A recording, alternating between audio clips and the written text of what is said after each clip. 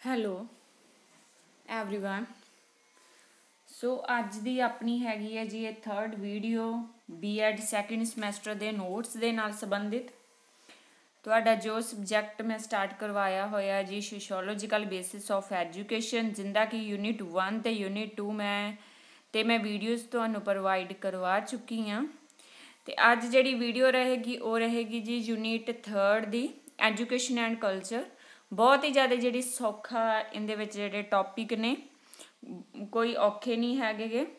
ਸੋ ਪਹਿਲੇ ਦੋਨੋਂ ਯੂਨਿਟ ਉਹ ਵੀ ਬਹੁਤ ਸੌਖੇ ਸੀ ਤੇ ਥਰਡ ਯੂਨਿਟ ਵੀ ਬਹੁਤ ਜ਼ਿਆਦਾ ਜਿਹੜਾ ਸੌਖਾ ਹੈ। ਨਾਰਮਲ ਗੱਲਾਂ ਇਹਨਾਂ ਨੂੰ ਤੁਸੀਂ ਆਪ ਖੁਦ ਲਿਖ ਸਕਦੇ ਹੋ। ਸੋ ਜਿਹੜੇ ਵੀ ਸਟੂਡੈਂਟਸ ਨਵੇਂ ਆਏ ਨੇ, ਉਹਨਾਂ ਨੂੰ ਮੈਂ ਦੱਸਣਾ ਚਾਹੁੰਦੀ ਹਾਂ ਕਿ ਇਹ ਪੰਜਾਬ ਯੂਨੀਵਰਸਿਟੀ ਚੰਡੀਗੜ੍ਹ ਦੇ ਸਿਲੇਬਸ ਦੇ ਨਾਲ ਸੰਬੰਧਿਤ ਵੀਡੀਓਜ਼ ਮੈਂ ਪ੍ਰੋਵਾਈਡ ਕਰਵਾ ਰਹੀ ਹਾਂ ਨੋਟਸ ਮੈਂ ਪ੍ਰੋਵਾਈਡ ਪ੍ਰੋਵਾਈਡ ਕਰਵਾ ਰਹੀ ਹਾਂ। ਸੋ ਇਸ ਵੀਡੀਓ ਦੇ ਵਿੱਚ ਮੈਂ ਜ਼ਿਆਦਾ ਡਿਟੇਲ ਦੇ ਵਿੱਚ ਨਹੀਂ ਜਾਵਾਂਗੀ। ਪੁਆਇੰਟ ਹੀ ਲਿਖੇ ਹੋਣਗੇ ਤਾਂ ਉਹਨਾਂ ਨੂੰ ਮੈਂ ਤੁਹਾਨੂੰ ਜਿਹੜਾ ਸਮਝਾ ਦੇਵਾਂਗੀ। ਸੋ ਕਾਫੀ ਸੌਖਾ ਹੈ ਜੀ।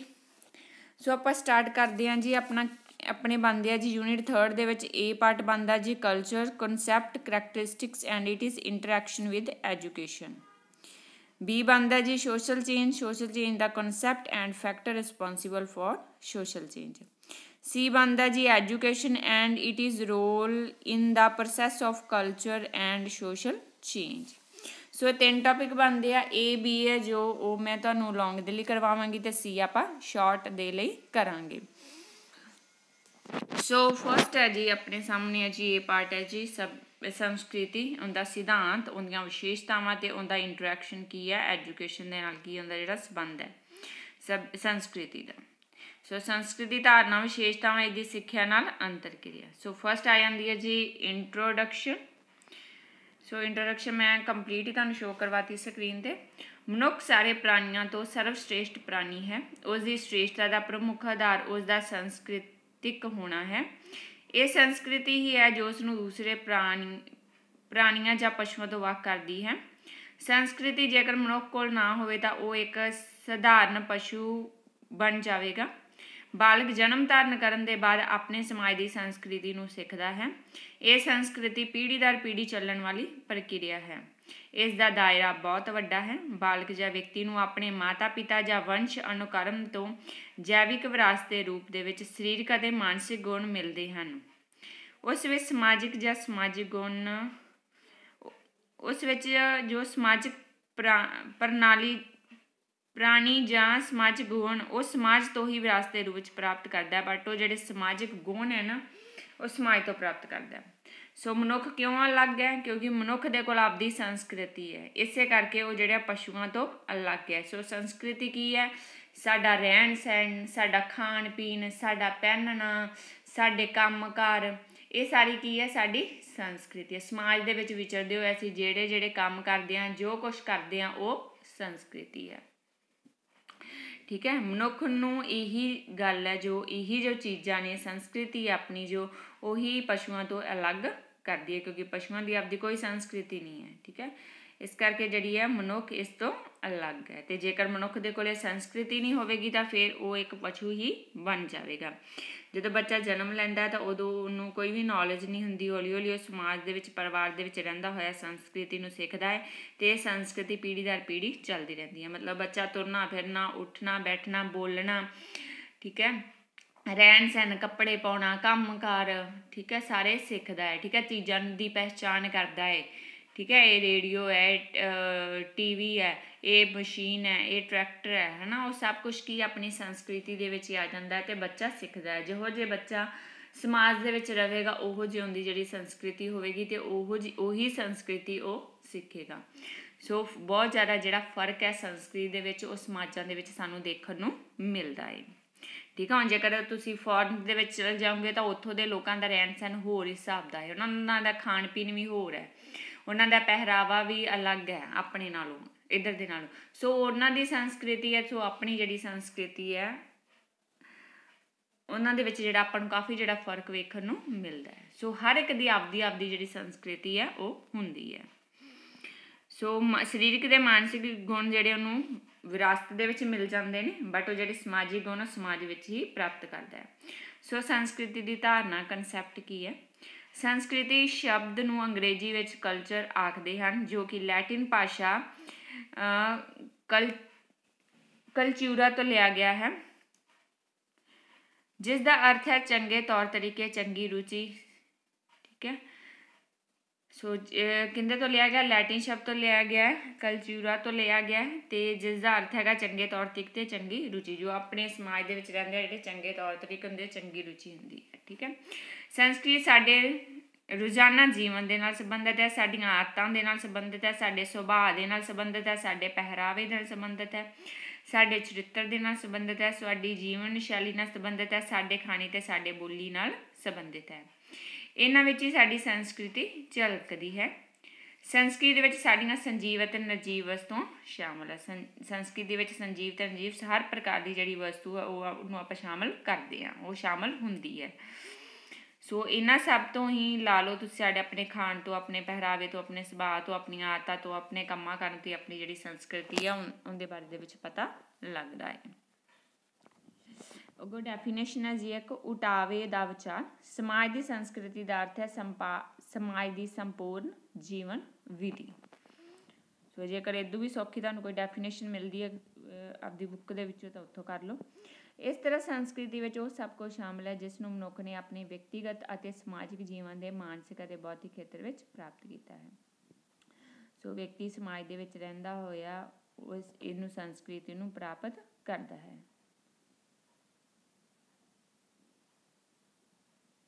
ਸੋ ਇਸ ਨੂੰ ਜਿਹੜਾ ਵਿਅਕਤੀ ਉਹ ਸਮਾਜਿਕ ਵਿਅਕਤੀਗਤ ਵਿਅਕਤੀਗਤ ਅਤੇ ਸਮਾਜ ਜੀਵਨ ਦੇ ਮਾਨਸਿਕ ਅਤੇ ਬੌਧਿਕ ਖੇਤਰ ਵਿੱਚ ਪ੍ਰਾਪਤ ਕਰਦਾ ਹੈ। ਸੋ ਅੱਗੋਂ ਆ ਗਈਆਂ ਜੀ ਇਹਦੀਆਂ ਕਰੈਕਟਰਿਸਟਿਕਸ ਇਹਦੀਆਂ ਵਿਸ਼ੇਸ਼ਤਾਵਾਂ ਕੀ ਨੇ? ਸੋ ਸੰਸਕ੍ਰਿਤੀ ਨੂੰ ਸਿੱਖਿਆ ਜਾਂਦਾ ਹੈ ਨਾ ਹੀ ਕਿ ਜਨਮ ਤੋਂ ਪ੍ਰਾਪਤ ਹੁੰਦੀ ਹੈ। ਇੱਕ ਜੋ ਬੱਚਾ ਹੈ ਉਹਨੂੰ ਜਨਮ ਤੋਂ ਹੀ ਨਹੀਂ ਪ੍ਰਾਪਤ ਹੋ ਜਾਂਦੀ ਕਿ ਉਹਨੂੰ ਪਹਿਲਾਂ ਹੀ ਸਾਰੀ ਨੌਲੇਜ ਹੁੰਦੀ ਹੈ। ਉਹਨੂੰ ਉਹ ਸਿੱਖਦਾ ਹੈ। ਠੀਕ ਹੈ ਹੌਲੀ ਹੌਲੀ ਜਿਵੇਂ ਜਿਵੇਂ ਉਹ ਵੱਡਾ ਹੁੰਦਾ ਜਾਂਦਾ ਹੈ, ਤਾਂ ਉਹਨੂੰ ਜਿਹੜੀ ਸਿੱਖਿਆ ਹੈ ਸੰਸਕ੍ਰਿਤ ਦੇ ਬਾਰੇ ਦੇ ਵਿੱਚ ਮਿਲਦੀ ਜਾਂਦੀ ਹੈ ਤੇ ਉਹਦਾ ਜਿਹੜਾ ਸੰਸਕ੍ਰਿਤੀਕਰਨ ਹੋ ਜਾਂਦਾ ਹੈ। ਸੋ ਇਹ ਵੀ ਜਿਹੜਾ ਸਮਾਜ ਦੇ ਨਾਲ ਮਿਲਿਆ ਜੁਲਿਆ ਹੀ ਹੈ ਟੌਪਿਕ ਬਸ ਸਮਾਜ ਦੇ ਵਿੱਚ ਕੀ ਆਪਣੀ ਸੰਸਕ੍ਰਿਤੀ ਹੈ? ਜਿਵੇਂ ਆਪਾਂ ਸਮਾਜੀਕਰਨ ਪੜਿਆ ਸੀਗਾ, ਸਮਾਜੀਕਰਨ ਦੇ ਵਿੱਚ ਕੀ ਆ ਜਾਂਦਾ? ਆਪਾਂ ਆਪਦੀ ਜਿਹੜੀ ਆਪਣੇ ਤੌਰ ਤਰੀਕੇ ਹੀ ਸਿੱਖਦੇ ਆ ਨਾ, ਸਮਾਜ ਦੇ ਵਿੱਚ ਰਹਿਣਾ ਕਰਨਾ ਸਿੱਖਦੇ ਆ। ਤੇ ਉਹ ਰਹਿਣਾ ਕਰਨਾ ਸਿੱਖਣਾ ਤਾਂ ਉਹਦੇ ਲਈ ਕੀ ਹੈ? ਉਹਦੇ ਲਈ ਸੰਸਕ੍ਰਿਤੀ ਆ, ਉੱਥੇ ਉੱਥੇ ਆਪਣੀ ਸੰਸਕ੍ਰਿਤੀ ਨਾਲ ਅਟੈਚ ਹੈ, ਹਨਾ? ਇਹ ਅਲੱਗ-ਅਲੱਗ ਚੀਜ਼ਾਂ ਨਹੀਂ ਹੈ ਇਹ ਆਪਸ ਦੇ ਵਿੱਚ ਜਿਹੜੀਆਂ ਨੇ, ਇੱਕ ਦੂਜੇ ਨਾਲ ਸੰਬੰਧਿਤ ਨੇ। ਸੋ ਇਹ ਪੀੜੀ ਦਰ ਪੀੜੀ ਚੱਲਣ ਵਾਲੀ ਪ੍ਰਕਿਰਿਆ ਹੈ। ਇੱਕ ਪੀੜੀ ਨੇ ਗੁਣ ਸਿੱਖੇ, ਤੁਹਾਡਾ ਜਿਹੋ ਜਿਹਾ ਪਹਿਰਾਵਾ ਤੁਹਾਡੇ ਹੋਵੇਗਾ ਸੋ ਅਗਲ ਮਾਤਾ ਪਿਤਾ ਦੇ ਬੱਚੇ ਦਾ ਪਹਿਰਾਵਾ ਵੀ ਉਦਾਂ ਦਾ ਹੀ ਹੋਵੇਗਾ। ਜੇਕਰ ਪੱਛਮੀ ਫੋਰਨ ਦੇ ਵਿੱਚ ਲੋਕੀ ਰਹਿ ਰਹੇ ਆ, ਤਾਂ ਉਹਨਾਂ ਦੇ ਬੱਚਿਆਂ ਦਾ ਪਹਿਰਾਵਾ ਉਦਾਂ ਦਾ ਹੋਵੇਗਾ। ਤੁਸੀਂ ਬਿਹਾਰ ਚਲ ਜਾਓ, ਉੱਥੋਂ ਦੇ ਲੋਕਾਂ ਦਾ ਪਹਿਰਾਵਾ ਹੋਰ ਹੈ। ਗੁਜਰਾਤ ਚਲ ਜਾਓ, ਉੱਥੋਂ ਦੇ ਲੋਕਾਂ ਦਾ ਪਹਿਰਾਵਾ ਹੋਰ ਹੈ। ਪਾਕਿਸਤਾਨ ਚਲ ਜਾਓ, ਉੱਥੋਂ ਦੇ ਲੋਕਾਂ ਜਿਵੇਂ ਬੁਰਕਾ ਵਗੈਰਾ ਲਗਾ ਆਉਂਦੇ ਨੇ। ਸੋ ਹਰ ਇੱਕ ਦਾ ਜਿਹੜਾ ਵੱਖਰਾ ਵੱਖਰਾ ਜਿਹੜਾ ਪਹਿਰਾਵਾ ਹੈ ਠੀਕ ਹੈ? ਸੋ ਪੀੜੀ ਦਰ ਪੀੜੀ ਜਿਹੜਾ ਆਪਾਂ ਨੂੰ ਮਿਲਣ ਵਾਲੀ ਜਿਹੜੀ ਪ੍ਰਕਿਰਿਆ ਹੈ ਠੀਕ ਹੈ? ਜਿਹੋ ਜਿਹਾ ਆਪਣਾ ਖਾਣ ਪੀਣ ਹੋਵੇਗਾ, ਮਾਤਾ ਪਿਤਾ ਦਾ ਉਹੋ ਜਿਹਾ ਜਿਹੜਾ ਬੱਚੇ ਦਾ ਹੋਵੇਗਾ ਖਾਣ ਪੀਣ।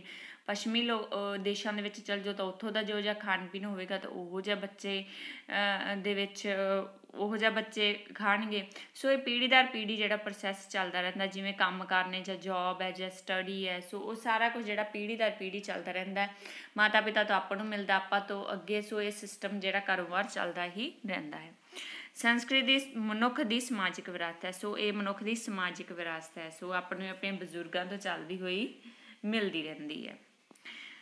ਸੋ ਸੰਸਕ੍ਰਿਤੀ ਮਨੁੱਖ ਦੀਆਂ ਲੋੜਾਂ ਨੂੰ ਵੀ ਪੂਰਾ ਕਰਦੀ ਹੈ। ਸੰਸਕ੍ਰਿਤੀ ਕਿਵੇਂ ਲੋੜਾਂ ਨੂੰ ਪੂਰਾ ਕਰਦੀ ਹੈ? ਆਪਾਂ ਨੂੰ ਇਹਦੇ ਵਿੱਚ ਜਿਹੜੇ ਆ, ਆਪਣੇ ਜਿਹੜੇ ਕੱਪੜੇ ਦੇ ਬਾਰੇ ਦੇ ਵਿੱਚ ਆਪਾਂ ਨੂੰ ਨੌਲੇਜ ਹੁੰਦੀ ਹੈ, ਆਪਾਂ ਕੱਪੜੇ ਪਾਉਨੇ ਆ ਠੀਕ ਹੈ? ਆਪਣਾ ਜਿਹੜੇ ਕੰਮ ਕਰ ਕਰ ਸਕਦੇ ਆ ਸਮਾਜ ਦੇ ਵਿੱਚ। ਸਮਾਜ ਦੇ ਵਿੱਚ ਆਪਾਂ ਕੰਮ ਕਰ ਕਰਦੇ ਆ ਹੈਨਾ? ਆਪਾਂ ਨੂੰ ਜਿਹੜੀ ਇਹ ਚੀਜ਼ਾਂ ਦੀ ਨੌਲੇਜ ਉਹ ਹੁੰਦੀ ਹੈ। ਠੀਕ ਹੈ, ਆਪਣਾ ਖਾਣਾ ਪੀਣ ਦੇ ਬਾਰੇ ਦੇ ਵਿੱਚ ਆਪਾਂ ਨੂੰ ਪਤਾ ਲੱਗਦਾ ਹੈ, ਆਪਾਂ ਕਿਵੇਂ ਕਮਾਈ ਕਰ ਸਕਦੇ ਹਾਂ। ਸੋ ਇਹ ਸਾਰਾ ਕੁਝ ਜਿਹੜਾ ਕਿਵੇਂ ਆ, ਇਹ ਸੰਸਕ੍ਰਿਤੀ ਹੈ। ਸੋ ਸੰਸਕ੍ਰਿਤੀ ਸਾਡੀਆਂ ਜਿਹੜੀਆਂ ਲੋੜਾਂ ਨੂੰ ਪੂਰਾ ਕਰਦੀ ਹੈ। ਸੋ ਆਪਾਂ ਨੂੰ ਰਹਿਣ ਦੇ ਲਈ ਮਕਾਨ ਚਾਹੀਦਾ ਹੈ। ਸੋ ਹਨਾ, ਆਉਣ ਜਾਣ ਦੇ ਲਈ ਜਿਹੜੀਆਂ ਸੜਕਾਂ ਹੈ, ਉਹਨਾਂ ਦਾ ਹੋਣਾ ਜ਼ਰੂਰੀ ਹੈ।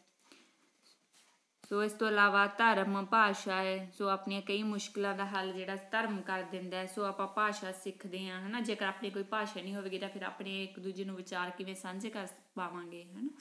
ਸੋ ਇਸ ਕਰਕੇ ਜਿਹੜੀ ਸੰਸਕ੍ਰਿਤੀ ਹੈ, ਮਨੁੱਖ ਦੀਆਂ ਜਿਹੜੀਆਂ ਲੋੜਾਂ ਉਹਨਾਂ ਨੂੰ ਪੂਰਾ ਕਰਦੀ ਹੈ, ਕਿਉਂਕਿ ਬੱਚਾ ਬਿਲਕੁਲ ਹੀ ਹੁੰਦਾ ਜਿਹੜਾ ਮਾਈਂਡ ਹੈ, ਉਹ ਬਲੈਂਕ ਹੁੰਦਾ ਹੈ, ਹਨਾ। ਤਾਂ ਹੌਲੀ ਹੌਲੀ ਕਰਕੇ ਉਹ ਜਿਹੜਾ ਸਿੱਖਦਾ ਆਪਦੀਆਂ ਲੋੜਾਂ ਨੂੰ ਪੂਰਾ ਕਰਨ ਦੇ ਲਈ ਜਿਹੜੀ ਸੰਸਕ੍ਰਿਤੀ ਹੈ, ਉਹਦੀ ਹੈਲਪ ਕਰਦੀ ਹੈ। ਅਲੱਗ-ਅਲੱਗ ਸੰਸਕ੍ਰਿਤੀਆਂ ਦੀ ਹੋਂਦ ਜਿਹੜੀ ਹੈ ਪਾਈ ਜਾਂਦੀ ਹੈ ਦੇਸ਼ ਦੇ ਵਿੱਚ। ਸੋ ਇਹ ਨਹੀਂ ਹੈਗਾ ਸਿਰਫ ਇੱਕ ਹੀ ਸੰਸਕ੍ਰਿਤੀ ਹੁੰਦੀ ਹੈ। ਅਲੱਗ-ਅਲੱਗ ਖੇਤਰਾਂ ਦੇ ਵਿੱਚ ਰਹਿਣ ਵਾਲੇ ਲੋਕਾਂ ਦੀ ਜਿਹੜੀ ਸੰਸਕ੍ਰਿਤੀ ਆ, ਉਹ ਅਲੱਗ-ਅਲੱਗ ਹੀ ਹੋਵੇਗੀ। ਜਿਵੇਂ ਕਿ ਇਹਦੇ ਨਾਲ ਸੰਬੰਧਿਤ ਐਗਜ਼ਾਮਪਲ ਮੈਂ ਤੁਹਾਨੂੰ ਪਹਿਲਾਂ ਹੀ ਦੇ ਚੁੱਕੀ ਹਾਂ।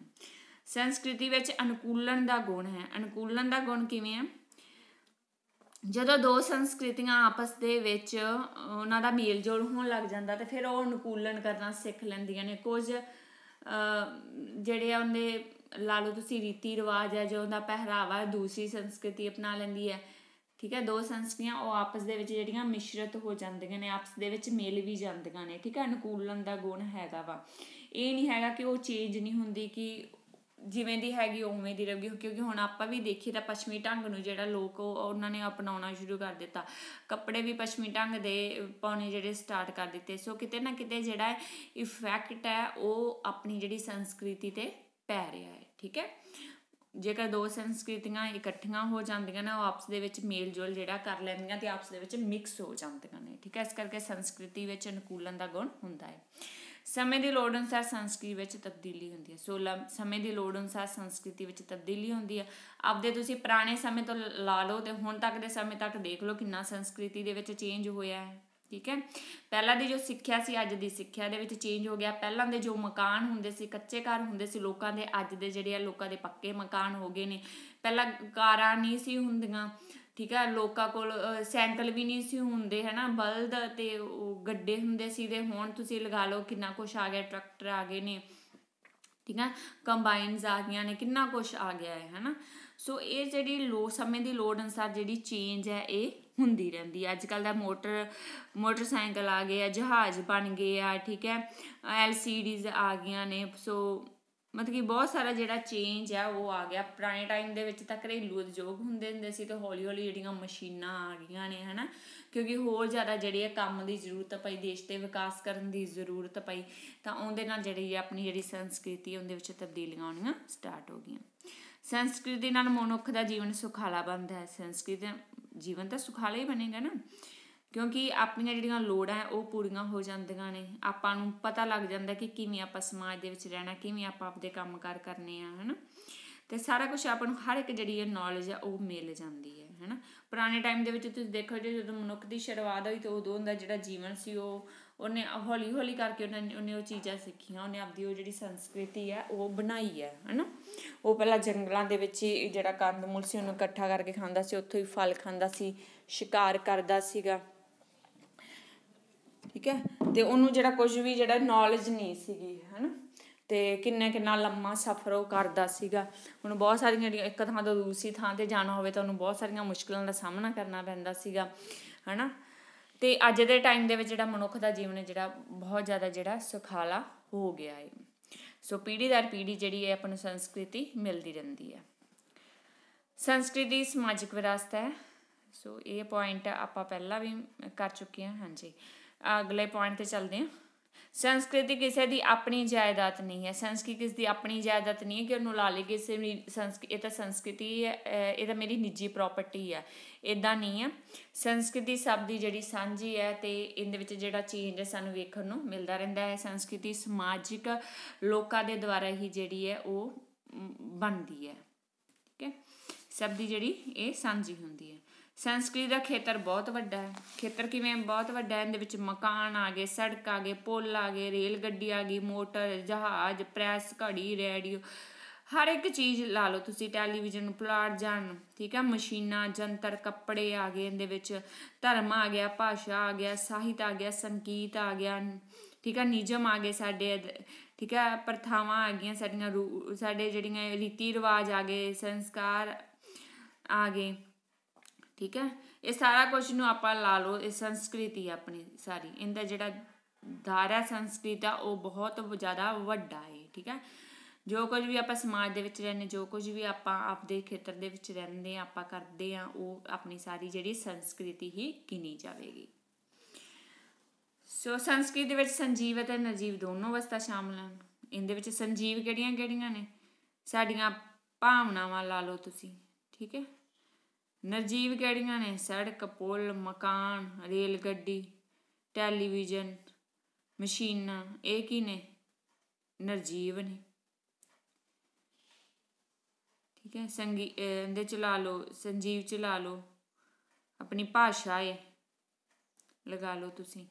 ਸੋ ਇਸ ਕਰਕੇ ਸੰਸਕ੍ਰਿਤੀ ਵਿੱਚ ਸੰਜੀਵ ਤੇ ਨਿਰਜੀਵ ਦੋਨਾਂ ਵਸਤੂਆਂ ਸ਼ਾਮਲ ਹੈ ਜਿਹੜਾ ਆਪਣੇ ਦੁਆਰਾ ਜਿਹੜੇ ਕੰਮ ਕੀਤੇ ਜਾਂਦੇ ਨੇ ਸੰਜੀਵ ਸਜੀਵ ਲਾ ਲਓ।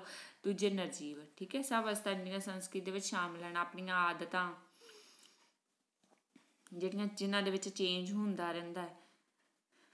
ਵਿਅਕਤੀ ਦੇ ਜੀਵਨ ਦਾ ਮਾਰਗਦਰਸ਼ਨ ਕਰਦੀ ਹੈ ਸੰਸਕ੍ਰਿਤੀ, ਠੀਕ ਹੈ? ਹੁਣ ਕਿਹੜੀ ਕਿਹੜੀ ਭੌਤਿਕ ਇੱਕ ਤਾਂ ਭੌਤਿਕ ਸੰਸਕ੍ਰਿਤੀ ਹੁੰਦੀ ਹੈ, ਇੱਕ ਅਭੌਤਿਕ ਸੰਸਕ੍ਰਿਤੀ ਹੁੰਦੀ ਹੈ।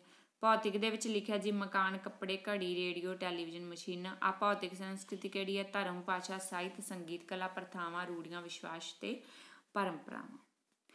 ਸੋ ਨੈਕਸਟ ਆ ਗਿਆ ਜੀ, ਭਾਰਤੀ ਸੰਸਕ੍ਰਿਤੀ ਦੀਆਂ ਕੀ ਵਿਸ਼ੇਸ਼ਤਾਵਾਂ ਨੇ? ਸੋ ਭਾਰਤ ਦੇ ਬਾਰੇ ਦੇ ਵਿੱਚ ਜੇਕਰ ਆਪਾਂ ਗੱਲ ਕਰੀਏ ਤਾਂ ਵੈਸੇ ਇਹਨਾਂ ਨੇ ਤੁਹਾਡੇ ਸਿਲੇਬਸ ਦੇ ਵਿੱਚ ਇਦਾਂ ਮੈਂਸ਼ਨ ਨਹੀਂ ਕੀਤਾ ਹੋਇਆ ਕਿ ਭਾਰਤ ਸੰਸਕ੍ਰਿਤੀ ਦੀਆਂ ਵਿਸ਼ੇਸ਼ਤਾਵਾਂ ਲਿਖੋ ਬਟ ਜੇਕਰ ਤੁਹਾਡੇ ਕੋਲ ਸਪੇਸ ਹੋਵੇ ਟਾਈਮ ਹੋਵੇ ਤਾਂ ਤੁਸੀਂ ਇਹਨੂੰ ਵਿੱਚ ਲਿਖ ਦਿਓ। ਸੋ ਇਹਦੇ ਨਾਲ ਵੀ ਇਫੈਕਟ ਹੈ ਜਿਹੜਾ ਐਗਜ਼ਾਮੀਨਰ ਤੇ ਉਹ ਪੈਂਦਾ ਹੈ ਕਿ ਇਹਨੂੰ ਸੰਸਕ੍ਰਿਤੀ ਦੇ ਬਾਰੇ ਦੇ ਵਿੱਚ ਪਤਾ ਕਿਉਂਕਿ ਆਪਾਂ ਇੰਡੀਆ ਦੇ ਵਿੱਚ ਰਹਿੰਦੇ ਆ ਤੇ ਇਸ ਕਰਕੇ ਤੁਸੀਂ ਇਹਨੂੰ ਲਿਖ ਸਕਦੇ ਹੋ। ਪ੍ਰਭੂ ਵਿੱਚ ਪੂਰਨ ਵਿਸ਼ਵਾਸ ਹੈ, ਅਧਿਆਤਮਿਕਤਾ ਵਿੱਚ ਵਿਸ਼ਵਾਸ ਹੈ, ਅਹਿੰਸਾ ਵਿੱਚ ਵਿਸ਼ਵਾਸ ਹੈ, ਕਿਸ ਦਾ ਬੁਰਾ ਨਹੀਂ ਕਰਨਾ। ਕਰਮ ਦੇ ਸਥਾਨ ਵਿੱਚ ਵਿਸ਼ਵਾਸ ਹੈ, ਸਾਦਾ ਜੀਵਨ ਅਤੇ ਉੱਚ ਵਿਚਾਰ। ਨਿਸ਼ਕਾਮ ਕਰਮ ਵਿੱਚ ਵਿਸ਼ਵਾਸ, ਸੇਵਾ ਭਾਵਨਾ ਵਿੱਚ ਵਿਸ਼ਵਾਸ, ਵਿਅਕਤੀ ਦੇ ਪ੍ਰਤੀ ਆਦਰ, ਸਹਿਣਸ਼ੀਲਤਾ ਵਿੱਚ ਵਿਸ਼ਵਾਸ, ਕਰਤਵ ਦੀ ਭਾਵਨਾ। ਸੋ ਇਹ ਵਾਲਾ ਹੈ ਜੀ। ਆਪਾਂ ਨੇ ਜ਼ਿਆਦਾ ਐਕਸਪਲੇਨ ਨਹੀਂ ਕਰਦੇ, ਬਸ ਤੁਸੀਂ ਇਦਾਂ ਹੀ ਜਾ ਲਿਖ ਸਕਦੇ ਹੋ। ਅੱਗੋਂ ਆ ਗਿਆ ਜੀ ਤੁਹਾਡਾ topic interactions of culture with education ਔਰ influence of culture on education ਸੰਸਕ੍ਰਿਤੀ ਦਾ ਸਿੱਖਿਆ ਨਾਲ ਪਰਸਪਰ ਸੰਬੰਧ ਜਾਂ ਸਿੱਖਿਆ ਤੇ ਸੰਸਕ੍ਰਿਤੀ ਦਾ ਪ੍ਰਭਾਵ। ਸੋ ਸੰਸਕ੍ਰਿਤੀ ਤੇ ਸਿੱਖਿਆ ਦਾ ਆਪਸ ਦੇ ਵਿੱਚ ਕੀ ਸੰਬੰਧ ਹੈ ਤੇ ਸਿੱਖਿਆ ਤੇ ਸੰਸਕ੍ਰਿਤੀ ਦਾ ਕੀ ਪ੍ਰਭਾਵ ਪੈਂਦਾ ਹੈ, ਠੀਕ ਹੈ। ਇਹ ਆਪਾਂ ਪਹਿਲਾਂ ਵੀ ਸਿੱਖਿਆ ਦੇ ਉਦੇਸ਼ ਕੀਤੇ ਆ ਨਾ ਇਹਦੇ ਵਿੱਚ ਮੈਂ ਤੁਹਾਨੂੰ ਮੈਂਸ਼ਨ ਵੀ ਕੀਤਾ ਹੋਇਆ society as a determinants of aims of education ਕਿ ਸੋਸਾਇਟੀ ਹੈ ਜਿਹੜੀ ਉਹ ਨਿਰਧਾਰਕ ਹੈ ਸਿੱਖਿਆ ਦੇ ਉਦੇਸ਼ਾਂ ਦੀ, ਠੀਕ ਹੈ? ਤਾਂ ਇਹਨੂੰ ਤੁਸੀਂ ਐਗਜ਼ਾਮਪਲ ਆ ਜਿਹੜੀਆਂ ਨੇ ਉਹਨਾਂ ਨੂੰ ਤੁਸੀਂ ਐਡ ਕਰ ਸਕਦੇ ਹੋ, ਕਿਉਂਕਿ ਸੋਸਾਇਟੀ ਦੇ ਵਿੱਚ ਕੀ ਆ ਗਿਆ? ਸੋਸਾਇਟੀ ਦੇ ਵਿੱਚ ਸਾਡੀ ਸੰਸਕ੍ਰਿਤੀ ਆ ਗਈ ਤੇ ਸੰਸਕ੍ਰਿਤੀ ਦੇ ਆਧਾਰ ਤੇ ਜਿਹੜੇ ਸਾਡੇ ਐਜੂਕੇਸ਼ਨ ਦੇ ਜਿਹੜੇ ਏਮਸ ਆ ਉਹ ਬਣਦੇ ਨੇ, ਉਹਨਾਂ ਤੇ ਜਿਹੜਾ ਪ੍ਰਭਾਵ ਹੈ ਉਹ ਪੈਂਦਾ ਤਾਂ ਇਹਨਾਂ ਨੂੰ ਤੁਸੀਂ ਜਿਹੜਾ ਐਡ ਆ ਉਹ ਕਰ ਸਕਦੇ ਹੋ। ਸੋ ਸੰਸਕ੍ਰਿਤੀ ਦੇ ਸਿੱਖਿਆ ਦਾ ਪਰਸਪਰ ਸੰਬੰਧ ਹੈ। ਕਿਹੜੇ ਕਿਹੜੇ ਪੁਆਇੰਟ ਹੈ? ਫਰਸਟ ਸਿੱਖਿਆ ਤੇ ਸੰਸਕ੍ਰਿਤੀ ਵਿੱਚ ਅਨਿਖੜਵ ਸੰਬੰਧ ਹੈ। ਸਿੱਖਿਆ ਸੰਸਕ੍ਰਿਤ ਤੋਂ ਬਿਨਾ ਅਧੂਰੀ ਹੈ ਤੇ ਸੰਸਕ੍ਰਿਤੀ ਦੇ ਜੋ ਉਦੇਸ਼ ਹੁੰਦੇ ਨੇ, ਉਹਨਾਂ ਨੂੰ ਪੂਰਾ ਕਰਨ ਦੇ ਲਈ ਸਿੱਖਿਆ ਅਹਿਮ ਭੂਮਿਕਾ ਨਿਭਾਉਂਦੀ ਹੈ। ਇਸ ਕਰਕੇ ਇਹਨਾਂ ਦੋਨਾਂ ਦੇ ਵਿੱਚ ਅਨਿਖੜ ਸੰਬੰਧ ਹੈ। ਸੰਸਕ੍ਰਿਤੀ ਹੀ ਸਿੱਖਿਆ ਦੇ ਉਦੇਸ਼ ਨਿਰਧਾਰਤ ਕਰਦੀ ਹੈ। ਜਿਹੋ ਜੀ ਕਹਿੰਦੇ ਸਮਾਜ ਹੁੰਦੀ, ਜਿਹੋ ਜੀ ਸੋਸਾਇਟੀ ਹੁੰਦੀ ਉਦਾਂ ਦੀ ਹੀ ਸਿੱਖਿਆ ਹੁੰਦੀ। ਜਿਵੇਂ ਕਿ ਆਪਾਂ ਐਗਜ਼ਾਮਪਲ ਕੀਤੀਆਂ ਸੀਗੀਆਂ ਸੋਸਾਇਟੀ ਐਜ਼ ਅ ਡਿਟਰਮੀਨੈਂਟ ਦੇ ਵਿੱਚ। ਜੇਕਰ ਉਹ ਵੀਡੀਓ ਨਹੀਂ ਦੇਖੀ ਤਾਂ ਯੂਨਿਟ ਸੈਕਿੰਡ ਦੇ ਵਿੱਚ ਪਿਆ ਟੌਪਿਕ ਉਹਨੂੰ ਕਰ ਲਓ, ਠੀਕ ਹੈ? ਤੇ ਉਹਦੇ, ਉਹੀ ਪੁਆਇੰਟ ਤੁਸੀਂ ਇਹਦੇ ਵਿੱਚ ਵੀ ਲਿਆ ਕੇ ਲਿਖ ਸਕਦੇ ਹੋ। ਬਸ ਸੋਸਾਇਟੀ ਦੀ ਥਾਂ ਤੇ ਤੁਸੀਂ ਸੰਸਕ੍ਰਿਤੀ ਜਿਹੜਾ ਸ਼ਬਦ ਆ, ਉਹ ਜਿਹੜਾ ਤੁਸੀਂ ਵਰਤਣਾ ਹੈ। ਜਿਵੇਂ ਕਿ ਆਪਾਂ ਉੱਥੇ ਗੱਲ ਕੀਤੀ ਕਿ ਲੋਕਤੰਤਰ ਜੋ ਸਰਕਾਰ ਲੋਕਤੰਤਰ ਜੋ ਹੁੰਦਾ ਹੈ, ਉੱਥੇ ਜਿਹੜੇ ਆ ਸਰਪੱਖੀ ਵਿਕਾਸ ਦੀ ਗੱਲ ਕੀਤੀ ਜਾਂਦੀ ਤੇ ਇਸ ਕਰਕੇ ਸਿੱਖਿਆ ਵੀ ਸਰਪੱਖੀ ਉਦੇਸ਼ਾਂ ਨੂੰ ਧਿਆਨ ਦੇ ਵਿੱਚ ਰੱਖ ਕੇ ਹੁੰਦੇ ਜਿਹੜੇ ਉਦੇਸ਼ ਆ ਉਹ ਬਣਾਏ ਜਾਂਦੇ ਤੇ ਪ੍ਰਾਚੀਨ ਟਾਈਮ ਦੇ ਵਿੱਚ ਜਿਹੜਾ ਧਰਮ ਸੀਗਾ, ਸੰਸਕ੍ਰਿਤੀ ਦਾ ਮੁੱਖ ਜਿਹੜਾ ਬਣਿਆ ਹੋਇਆ ਸੀਗਾ ਸੋਸਾਇਟੀ ਦੇ ਵਿੱਚ, ਤਾਂ ਇਸ ਕਰਕੇ ਜਿਹੜੀ ਸਿੱਖਿਆ ਸੀ ਉਹ ਵੀ ਧਾਰਮਿਕ ਹੀ ਦਿੱਤੀ ਜਾਂਦੀ ਸੀ। ਸੋ ਨੈਕਸਟ ਆ ਗਿਆ ਜੀ, ਸੰਸਕ੍ਰਿਤੀ ਤੋਂ ਰਹਿਤ ਸਮਾਜ ਵਿੱਚ ਵਿਦਿਅਕ ਸੰਸਥਾ ਨਹੀਂ ਹੁੰਦੀ। ਜਿੱਥੇ ਸੰਸਕ੍ਰਿਤੀ ਨਹੀਂ ਹੈਗੀ, ਜਿਹੜੇ ਸਮਾਜ ਦੀ, ਉੱਥੇ ਵਿਦਿਅਕ ਸੰਸਥਾ ਵੀ ਜਿਹੜੀ ਹੋਂਦ ਵਿੱਚ ਉਹ ਨਹੀਂ ਆ ਸਕਦੀ। ਸੋ ਕਿ ਸੰਸਕ੍ਰਿਤੀ ਦੇ ਜਿਹੜੇ ਉਦੇਸ਼ ਆ, ਉਹਨਾਂ ਨੂੰ ਪੂਰਾ ਕਰਨਾ ਹੀ ਜਿਹੜਾ ਮੁੱਖ, ਜਿਹੜਾ ਮਕਸਦ ਹੈ ਸਿੱਖਿਆ ਦਾ ਹੁੰਦਾ ਹੈ। ਤੇ ਜੇਕਰ ਸੰਸਕ੍ਰਿਤੀ ਨਹੀਂ ਹੈਗੀ ਕਿਸੇ ਸਮਾਜ ਦੀ, ਤਾਂ ਫਿਰ ਵਿਦਿਅਕ ਸੰਸਥਾ ਵੀ ਉੱਤੀ ਵੀ ਉੱਥੇ ਕੋਈ ਜ਼ਰੂਰਤ ਨਹੀਂ ਹੁੰਦੀ। ਸਮਾਜਿਕ ਜੀਵਨ ਸਿੱਖਿਆ ਦੁਆਰਾ ਪ੍ਰਭਾਵਿਤ ਹੁੰਦਾ ਜਿਹੜਾ ਸਮਾਜਿਕ ਜੀਵਨ ਹੈ, ਉਹ ਸਿੱਖਿਆ ਦੁਆਰਾ ਪ੍ਰਭਾਵਿਤ ਹੁੰਦਾ ਹੈ। ਸੋ ਸਿੱਖਿਆ ਜਿਹੜੀ ਆਪਦਾ ਬਹੁਤ ਜ਼ਿਆਦਾ ਜਿਹੜਾ ਪ੍ਰਭਾਵ ਹੈ ਉਹ ਸਮਾਜਿਕ ਜੀਵਨ ਦੇ ਉੱਪਰ ਪਾਉਂਦੀ ਹੈ ਸਿੱਖਿਆ ਦੇ ਉਦੇਸ਼ ਸਮਾਜ ਦੁਆਰਾ ਨਿਰਧਾਰਿਤ ਹੁੰਦੇ ਹਨ। ਸੋ ਸਿੱਖਿਆ ਦੇ ਜਿਹੜੇ ਉਦੇਸ਼ ਆ, ਉਹ ਸਮਾਜ ਹੀ ਨਿਰਧਾਰਿਤ ਕਰਦਾ ਹੈ। ਸੋ ਐਗਜ਼ਾਮਪਲਸ ਆ ਉਹਨੂੰ ਤੁਸੀਂ ਦੇਖ ਲਓ ਡਿਟਰਮੀਨੈਂਟਸ ਵਾਲਾ ਸੋਸਾਇਟੀ ਐਜ਼ ਅ ਡਿਟਰਮੀਨੈਂਟਸ ਤਾਂ ਉੱਥੋਂ ਹੀ ਤੁਹਾਨੂੰ ਕਲੀਅਰ ਹੋ ਜਾਣਾ ਹੈ। ਸੰਸਕ੍ਰਿਤੀ ਦਾ ਕੀ ਹੁਣ ਸਿੱਖਿਆ ਦੇ ਪ੍ਰਭਾਵ ਪੈਂਦਾ? ਕਲਚਰ ਦਾ, ਠੀਕ ਹੈ? ਫਰਸਟ ਹੈ ਸੰਸਕ੍ਰਿਤੀ ਸਿੱਖਿਆ ਦੇ ਉਦੇਸ਼ ਨਿਰਧਾਰਿਤ ਕਰਦੀ ਹੈ। ਠੀਕ ਹੈ, ਇਹ ਉਹੀ ਪੁਆਇੰਟ ਹੈ ਦੇਖ ਲਿਓ ਉਹਨੂੰ। ਪਾਠਕ੍ਰਮ ਤੇ ਸੰਸਕ੍ਰਿਤੀ ਦਾ ਪ੍ਰਭਾਵ ਵੀ ਦੇਖਣਾ, ਦੇਖਣ ਨੂੰ ਮਿਲਦਾ ਇਹ ਹੋਰ ਪੁਆਇੰਟ ਨੇ। ਪਾਠਕ੍ਰਮ ਜਿਹੜਾ ਸਕੂਲ ਦੇ ਵਿੱਚ ਜਿਹੜਾ ਕੁਰਿਕਲਮਸ ਹੁੰਦਾ ਪਾਠਕ੍ਰਮ ਹੁੰਦਾ, ਉਹਦੇ ਤੇ ਵੀ ਸੰਸਕ੍ਰਿਤੀ ਦਾ ਪ੍ਰਭਾਵ ਹੁੰਦਾ ਉਸੇ ਤਰ੍ਹਾਂ ਦਾ ਹੀ ਪਾਠਕ੍ਰਮ ਹੋਵੇਗਾ, ਜਿਸ ਤਰ੍ਹਾਂ ਦੀ ਜਿਹੜੀ ਸੰਸਕ੍ਰਿਤੀ ਦੇ ਉਦੇਸ਼ ਜਾਂ ਸੰਸਕ੍ਰਿਤੀ ਦੀਆਂ ਲੋੜਾਂ ਜਿਹੜੀਆਂ ਹੋਣਗੀਆਂ, ਸਮਾਜ ਦੀਆਂ ਲੋੜਾਂ ਹੋਣਗੀਆਂ, ਤੇ ਪਾਠਕ੍ਰਮ ਵੀ ਉਸੇ ਤਰੀਕੇ ਦਾ ਹੀ ਹੋਵੇਗਾ ਤੇ ਬੱਚਿਆਂ ਨੂੰ ਜਿਹੜੀ ਨੌਲੇਜ ਉਸੇ ਪਾਠਕ੍ਰਮ ਦੇ ਅਕੋਰਡਿੰਗ ਹੀ ਦਿੱਤੀ ਜਾਵੇਗੀ। ਅਧਿਆਪਨ ਵਿਧੀਆਂ ਤੇ ਵੀ ਸੰਸਕ੍ਰਿਤੀ ਦਾ ਜਿਹੜਾ ਪ੍ਰਭਾਵ ਹੈ ਉਹ ਸਾਨੂੰ ਦੇਖਣ ਨੂੰ ਮਿਲਦਾ ਹੈ। ਅਧਿਆਪਕ ਵੀ ਜੇ ਸੰਸਕ੍ਰਿਤੀ ਦਾ ਹੋਵੇਗਾ, ਠੀਕ ਹੈ, ਜਿਸ ਤਰ੍ਹਾਂ ਦੀ ਜਿਹੜੀ ਇਹ ਸਿੱਖਿਆ ਦਿੱਤੀ ਜਾਣੀ ਹੈ ਬੱਚੇ ਨੂੰ, ਉਸ ਤਰ੍ਹਾਂ ਹੀ ਅਧਿਆਪਕ ਵਿਧੀਆਂ ਜਿਹੜਾ ਇੱਕ ਅਧਿਆਪਕ ਹੈ, ਉਹ ਅਪਣਾਵੇਗਾ ਤੇ ਇਸ ਕਰਕੇ ਜਿਹੜੀਆਂ ਅਧਿਆਪਨ ਜਿਹੜੀਆਂ ਵਿਧੀਆਂ ਨੇ, ਉਹ ਵੀ ਜਿਹੜੀਆਂ ਸੰਸਕ੍ਰਿਤੀ ਤੋਂ ਪ੍ਰਭਾਵਿਤ ਹੋਣਗੀਆਂ। ਪਹਿਲੇ ਟਾਈਮ ਦੇ ਵਿੱਚ ਤਾਂ ਸਿਰਫ ਇਦਾਂ ਹੀ ਹੁੰਦਾ ਸੀਗਾ ਕਿ ਅਧਿਆਪਕ ਨੇ ਜੋ ਪੜ੍ਹਾ ਦਿੱਤਾ ਬੱਚੇ ਨੂੰ ਉਹੀ ਪੜ੍ਹਨਾ ਹੁੰਦਾ ਸੀ ਉਹਨੂੰ, ਹਨਾ? ਇਹਦੇ ਨਾਲ ਜਿਹੜੀ ਸਿੱਖਿਆ ਸੀ ਉਹ ਜ਼ਬਰਦਸਤੀ ਉਹਦੇ ਉੱਪਰ ਜਿਹੜੀ ਹੈ ਥੋਪ ਦਿੱਤੀ ਜਾਂਦੀ ਸੀ, ਹਨਾ? ਇਹੀ ਪੜ੍ਹਨਾ ਪਰ ਅੱਜ ਕੱਲ ਦੇ ਟਾਈਮ ਦੇ ਵਿੱਚ ਜਿਹੜੀ ਹੈ ਸਿੱਖਿਆ ਜਿਹੜੀ ਵਿਦਿਆਰਥੀ ਕੇਂਦਰਿਤ ਹੋ ਗਈ ਹੈ ਤੇ ਵਿਦਿਆਰਥੀ ਦੇ ਸਮਾਜ ਦੀਆਂ ਲੋੜਾਂ ਨੂੰ ਵਾਤਾਵਰਣ ਦੀਆਂ ਲੋੜਾਂ ਨੂੰ ਧਿਆਨ ਦੇ ਵਿੱਚ ਰੱਖਦੇ ਹੋਏ ਜਿਹੜਾ ਅਧਿਆਪਕ ਉਹ ਅਧਿਆਪਨ ਵਿਧੀਆਂ ਦੀ ਵਰਤੋਂ ਕਰਕੇ ਜਿਹੜਾ ਸਿੱਖਿਆ ਉਹ ਦਿੰਦਾ ਹੈ। ਸੰਸਕ੍ਰਿਤੀ ਦਾ ਅਨੁਸ਼ਾਸਨ ਤੇ ਵੀ ਪ੍ਰਭਾਵ ਪੈਂਦਾ ਹੈ।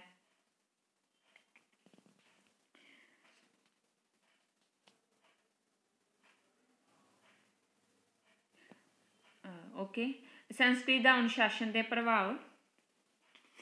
ਸੋ ਸੰਸਕ੍ਰਿਤੀ ਅਨੁਸ਼ਾਸਨ ਦੀ ਧਾਰਨਾ ਨੂੰ ਹੀ ਪ੍ਰਭਾਵਿਤ ਕਰਦੀ ਹੈ। ਸੋ ਜਿਹੋ ਜਿਹੇ ਜਿਹੜੇ ਸਿੱਖਿਆ ਦੇ ਉਦੇਸ਼ ਹੋਣਗੇ, ਠੀਕ ਹੈ? ਉਸ ਤਰ੍ਹਾਂ ਦੀ ਹੀ, ਜਿਸ ਤਰ੍ਹਾਂ ਸਮਾਜ ਹੋਵੇਗਾ, ਉਸ ਤਰ੍ਹਾਂ ਦੀ ਸਿੱਖਿਆ ਹੋਵੇਗੀ ਤੇ ਉਸੇ ਸਿੱਖਿਆ ਦੇ ਉਦੇਸ਼ਾਂ ਦੇ ਅਕੋਰਡਿੰਗ ਹੀ ਜਿਹੜਾ ਅਨੁਸ਼ਾਸਨ ਹੈ, ਉਹ ਜਿਹੜਾ ਪ੍ਰੋਵਾਈਡ ਜਿਹੜਾ ਕਰਵਾਇਆ ਜਾਵੇਗਾ, ਇਸ ਕਰਕੇ ਜਿਹੜਾ ਸੰਸਕ੍ਰਿਤ ਦਾ ਅਨੁਸ਼ਾਸਨ ਤੇ ਵੀ ਪ੍ਰਭਾਵ ਪੈਂਦਾ ਹੈ। ਤੇ ਅੱਜ ਦੇ ਮੁੱਲ ਦੇ ਵਿੱਚ ਜੇਕਰ ਅਸੀਂ ਯੁੱਗ ਦੇ ਵਿੱਚ ਜੇਕਰ ਗੱਲ ਕਰੀਏ ਤਾਂ ਲੋਕਤੰਤਰੀ ਜਿਹੜੇ ਮੁੱਲ ਆ, ਉਹਨਾਂ ਨੂੰ ਜਿਹੜਾ ਮੁੱਖ ਬਣਾਇਆ ਗਿਆ ਹੈ, ਤਾਂ ਜਿਹੜੀ ਹੈ ਸਿੱਖਿਆ ਵੀ ਉਹ ਲੋਕਤੰਤਰੀ ਸਿਧਾਂਤਾਂ ਦੇ ਆਧਾਰ ਤੇ ਹੀ ਦਿੱਤੀ ਜਾ ਰਹੀ ਹੈ।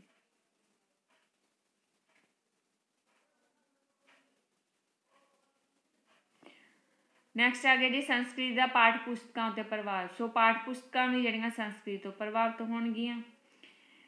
ਕਹਤੇ ਉਹਨਾਂ ਦੇ ਵੀ ਜਿਹੜਾ ਪ੍ਰਭਾਵ ਹੈ ਉਹ ਸਾਨੂੰ ਸੰਸਕ੍ਰਿਤੀ ਦਾ ਦੇਖਣ ਨੂੰ ਮਿਲਦਾ ਹੈ। ਸਮਾਜ ਦੇ ਸੰਸਕ੍ਰਿਤੀ ਦੇ ਜੋ ਆਦਰਸ਼ ਹੋਣਗੇ, ਜੋ ਨੈਤਿਕਤਾ ਹੋਵੇਗੀ, ਜੋ ਮੁੱਲ ਹੋਣਗੇ, ਉਹ ਜਿਹੜੇ ਹੈ ਪਾਠ ਪੁਸਤਕਾਂ ਦੇ ਵਿੱਚ ਜਿਹੜੇ ਸ਼ਾਮਲ ਹੈ ਉਹ ਹੋਣਗੇ।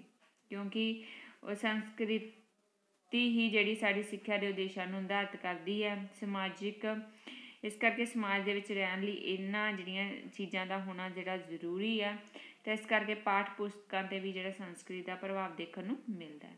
ਸਕੂਲ ਤੇ ਸੰਸਕ੍ਰਿਤ ਦਾ ਪ੍ਰਭਾਵ ਦੇਖਣ ਨੂੰ ਮਿਲੇਗਾ ਹੀ ਮਿਲੇਗਾ। ਸਕੂਲ ਵੀ ਉਸ ਤਰ੍ਹਾਂ ਦੇ ਹੀ ਹੋਣਗੇ, ਜਿਸ ਤਰ੍ਹਾਂ ਦੇ ਸਾਡੀ ਉਸ ਦਾ ਰਹਿਣ ਸਹਿਣ ਹੋਵੇਗਾ, ਉੱਥੋਂ ਦੀ ਸਾਡੀ ਸੰਸਕ੍ਰਿਤੀ ਹੋਵੇਗੀ, ਸਾਡਾ ਪਹਿਰਾਵਾ, ਸਾਡੀ ਯੂਨੀਫਾਰਮ ਵੀ ਉਸ ਤਰ੍ਹਾਂ ਦੀ ਹੋਵੇਗੀ, ਜਿਹੋ ਜਿਹਾ ਮਾਹੌਲ ਹੋਵੇਗਾ, ਜਿਹੋ ਜਿਹਾ ਸਿਸਟਮ ਹੋਵੇਗਾ ਉੱਥੋਂ ਦਾ। ਸੋ ਆਪਣੇ ਸਕੂਲ ਦਾ ਜੋ ਢਾਂਚਾ, ਉਹ ਵੀ ਆਪਣੀ ਜਿਹੜੀ ਸਮਾਜਿਕ ਜਿਹੜੀ ਸੰਸਕ੍ਰਿਤੀ ਆ, ਉਹਦੇ ਅਕੋਰਡਿੰਗ ਹੀ ਹੋਵੇਗਾ। ਜੇਕਰ ਫੋਰਨ ਦੇ ਵਿੱਚ ਹੈ, ਤਾਂ ਉੱਥੋਂ ਉਹਨਾਂ ਦੀ ਆਪਦੀ ਸੰਸਕ੍ਰਿਤੀ ਆਪਦੇ ਸਕੂਲ ਹੈ। ਉਹਨਾਂ ਦੀ ਸੰਸਕ੍ਰਿਤੀ ਦਾ ਪ੍ਰਭਾਵ ਉਹਨਾਂ ਦੇ ਸਕੂਲਾਂ ਤੇ ਹੈ। ਆਪਣੇ ਇੱਥੇ ਦੇਸ਼ ਦੇ ਵਿੱਚ ਆਪਣੀ ਸੰਸਕ੍ਰਿਤੀ ਦਾ ਪ੍ਰਭਾਵ ਆਪਣੇ ਸਕੂਲਾਂ ਤੇ ਆ, ਠੀਕ ਹੈ? ਤੁਸੀਂ ਬਿਹਾਰ ਚਲ ਜੋ ਉੱਥੋਂ ਦੇ ਸਕੂਲਾਂ ਦਾ ਸਿਸਟਮ ਹੋਰ ਹੈ ਹਰਿਆਣੇ ਹੋਰ ਹੈ ਗੁਜਰਾਤ ਹੋਰ ਹੈ ਸੋ ਜੋ ਜਿਹੀ ਸੰਸਕ੍ਰਿਤੀ ਜੋ ਜਿਹੀ ਕਿਸੇ ਦੀ ਭਾਸ਼ਾ ਹੋਵੇਗੀ, ਉਹੋ ਜਿਹੀ ਜਿਹੜੀ ਆ, ਉਹ ਸਕੂਲਾਂ ਤੇ ਜਿਹੜਾ ਪ੍ਰਭਾਵ ਪਵੇਗਾ। ਜੇਕਰ ਪੰਜਾਬ ਦੇ ਵਿੱਚ ਪੰਜਾਬੀ ਹੈ, ਤਾਂ ਪੰਜਾਬੀ ਦੇ ਵਿੱਚ ਸਾਰੀਆਂ ਜਿਹੜੀਆਂ ਲਾਈਨਸ ਆ, ਉਹ ਲਿਖੀਆਂ ਹੁੰਦੀਆਂ ਨੇ ਸਕੂਲਾਂ ਦੇ ਵਿੱਚ, ਤੇ ਬੱਚੇ ਵੀ ਜ਼ਿਆਦਾ ਜਿਹੜੇ ਆ ਪੰਜਾਬੀ ਬੋਲਣਗੇ ਤਾਂ ਪੰਜਾਬੀ ਭਾਸ਼ਾ ਦੇ ਵਿੱਚ ਹੀ ਉਹਨਾਂ ਨੂੰ ਸਿੱਖਿਆ ਦਿੱਤੀ ਜਾਂਦੀ ਹਰਿਆਣੇ ਚਲ ਜਾਓਗੇ ਤਾਂ ਹਿੰਦੀ ਭਾਸ਼ਾ ਦੇ ਵਿੱਚ ਸਿੱਖਿਆ ਦਿੱਤੀ ਜਾਂਦੀ, ਸਾਰਾ ਕੁਝ ਹਿੰਦੀ ਦੇ ਵਿੱਚ ਲਿਖਿਆ। ਬਿਹਾਰ ਚਲ ਜਾਓਗੇ ਤਾਂ ਉੱਥੇ ਅਲੱਗ ਭਾਸ਼ਾ ਹੈ, ਗੁਜਰਾਤ ਉੱਥੇ ਅਲੱਗ ਭਾਸ਼ਾ ਹੈ ਤੇ ਇਸ ਕਰਕੇ ਅਧਿਆਪਕਾਂ ਦੀ ਜਿਹੜੀ ਬੋਲੀ ਹੈ, ਉਹ ਵੀ ਉਹਨਾਂ ਦੀ ਭਾਸ਼ਾ ਦੇ ਵਿੱਚ ਹੀ ਹੋਵੇਗੀ। ਠੀਕ ਹੈ? ਨੈਕਸਟ ਆ ਗਿਆ ਜੀ। ਸੰਸਕ੍ਰਿਤੀ ਦਾ ਅਧਿਆਪਕ ਤੇ ਪ੍ਰਭਾਵ, ਸੋ ਅਧਿਆਪਕ ਦੇ ਵੀ ਜਿਹੜਾ ਪ੍ਰਭਾਵ ਹੈ ਸੰਸਕ੍ਰਿਤੀ ਦਾ ਪੈਂਦਾ ਹੈ। ਠੀਕ ਹੈ? ਉਹਦੀ ਜਿਹੜੀ ਭਾਸ਼ਾ ਲਾ ਲਓ ਤੁਸੀਂ। ਅਧਿਆਪਕ ਦੀ ਭਾਸ਼ਾ ਵੀ ਉਸੇ ਅਕੋਰਡਿੰਗ ਹੀ ਹੋਵੇਗੀ, ਜੋ ਜਿਸ ਤਰ੍ਹਾਂ ਦੇ ਬੱਚਿਆਂ ਦੀ ਜਿਹੜੀ ਭਾਸ਼ਾ ਉਹ ਹੋਵੇਗੀ। ਬੱਚਿਆਂ ਤੇ ਵੀ ਸੰਸਕ੍ਰਿਤ ਦਾ ਪ੍ਰਭਾਵ ਤੇ ਅਧਿਆਪਕ ਤੇ ਵੀ ਜਿਹੜਾ ਸੰਸਕ੍ਰਿਤ ਦਾ ਪ੍ਰਭਾਵ ਸਾਨੂੰ ਦੇਖਣ ਨੂੰ ਮਿਲਦਾ ਹੈ। ਸੋ ਉਹਦੇ ਜਿਹੜੇ ਤੌਰ ਤਰੀਕੇ ਅਧਿਆਪਕ ਦੇ, ਉਹ ਵੀ ਉੱਥੋਂ ਦੀ ਸੰਸਕ੍ਰਿਤੀ ਨਾਲ ਸੰਬੰਧਿਤ ਹੋਣਗੇ, ਉਹਦਾ ਪਹਿਰਾਵਾ ਸੰਸਕ੍ਰਿਤੀ ਨਾਲ ਹੀ ਸੰਬੰਧਿਤ ਹੋਊਗਾ, ਉਹਦੀਆਂ ਉਹਦੀਆਂ ਆਦਤਾਂ, ਉਹਦਾ ਖਾਣ ਪੀਣ, ਉਹਦੀ ਭਾਸ਼ਾ, ਸਾਰਾ ਕੁਝ ਹੀ ਜਿਹੜਾ ਸੰਸਕ੍ਰਿਤੀ ਦਾ ਜਿਹੜਾ ਪ੍ਰਭਾਵ ਦੀ ਅਧਿਆਪਕ ਤੇ ਪੈਂਦਾ ਹੈ ਤੁਸੀਂ ਦੇਖਦੇ ਹੋਵੋਗੇ ਜਦੋਂ ਕਿਸੇ ਦੂਸਰੀ ਸਟੇਟ ਦਾ ਜੋ ਅਧਿਆਪਕ ਹੈ, ਉਹਦੀ ਇੱਧਰ ਪੰਜਾਬ ਦੇ ਵਿੱਚ ਸਿਲੈਕਸ਼ਨ ਹੋ ਜਾਂਦੀ ਹੈ, ਤਾਂ ਉਹਦੇ ਤੁਸੀਂ ਦੇਖਦੇ ਹੁੰਦਾ ਜਿਹੜਾ ਪਹਿਰਾਵਾ ਹੁੰਦਾ ਬੋਲ ਚਾਲ ਹੈ, ਉਹ ਅਲੱਗ ਕਿਸਮ ਦਾ ਹੁੰਦਾ ਹੈ। ਤੇ ਜਦੋਂ ਫਿਰ ਉਹ ਇੱਧਰ ਆ ਜਾਂਦਾ ਤੇ ਫਿਰ ਇੱਥੇ ਆਣ ਕੇ ਵੀ ਉਹ ਕਈ ਬਿਹਾਰ ਦੇ ਲੋਕ ਆਪਣੇ ਪੰਜਾਬ ਦੇ ਵਿੱਚ ਆਏ ਹੋਏ ਨੇ। ਸੋ ਉਹ ਹਿੰਦੀ ਬੋਲਦੇ ਨੇ। ਤਾਂ ਹੌਲੀ ਹੌਲੀ ਹੁਣ ਉਹ ਪੰਜਾਬੀ ਵੀ ਜਿਹੜੀ ਜਿਹੜੀ ਬੋਲਣੀ ਉਹਨਾਂ ਨੇ ਸਟਾਰਟ ਕਰਤੀ ਉਹ ਸਿੱਖ ਕੇ, ਕਿਉਂਕਿ ਉਹ ਆਪਣੀ ਜਿਹੜੀ ਸੰਸਕ੍ਰਿਤੀ ਦੇ ਜਿਹੜਾ ਹੈ ਆਪਣੀ ਸੰਸਕ੍ਰਿਤੀ ਨਾਲ ਉਹਨਾਂ ਦੀ ਅਟੈਚਮੈਂਟ ਹੋ ਗਈ। ਠੀਕ ਆ ਪ੍ਰਭਾਵ ਪੈਣਾ ਆਪਣੀ ਸੰਸਕ੍ਰਿਤੀ ਦਾ ਉਹਨਾਂ ਦੇ ਸਟਾਰਟ ਹੋ ਗਿਆ। ਤੇ ਆਪਾਂ ਵੀ ਕੀ ਕਰਦੇ ਹਾਂ ਕਿ ਵੀ ਹਿੰਦੀ ਦੇ ਵਿੱਚ ਗੱਲ ਕਰਨੀ, ਕਿਸੇ ਦੇ ਨਾਲ ਸਟਾਰਟ ਕਰ ਦਿੰਦੇ ਹਾਂ ਜੇ ਕੋਈ ਹਿੰਦੀ ਬੋਲਦਾ ਹੈ ਤਾਂ। ਤਾਂ ਇੱਦਾਂ ਉਹ ਪੰਜਾਬੀ ਅਤੇ ਹਿੰਦੀ ਦੀ ਜਿਹੜਾ ਮਿਕਸ ਹੈ ਅਨੁਕੂਲਨ ਵੀ ਸੰਸਕ੍ਰਿਤੀਆਂ ਦਾ ਜਿਹੜਾ ਹੋਣ ਹੈ, ਉਹ ਲੱਗ ਜਾਂਦਾ ਹੈ।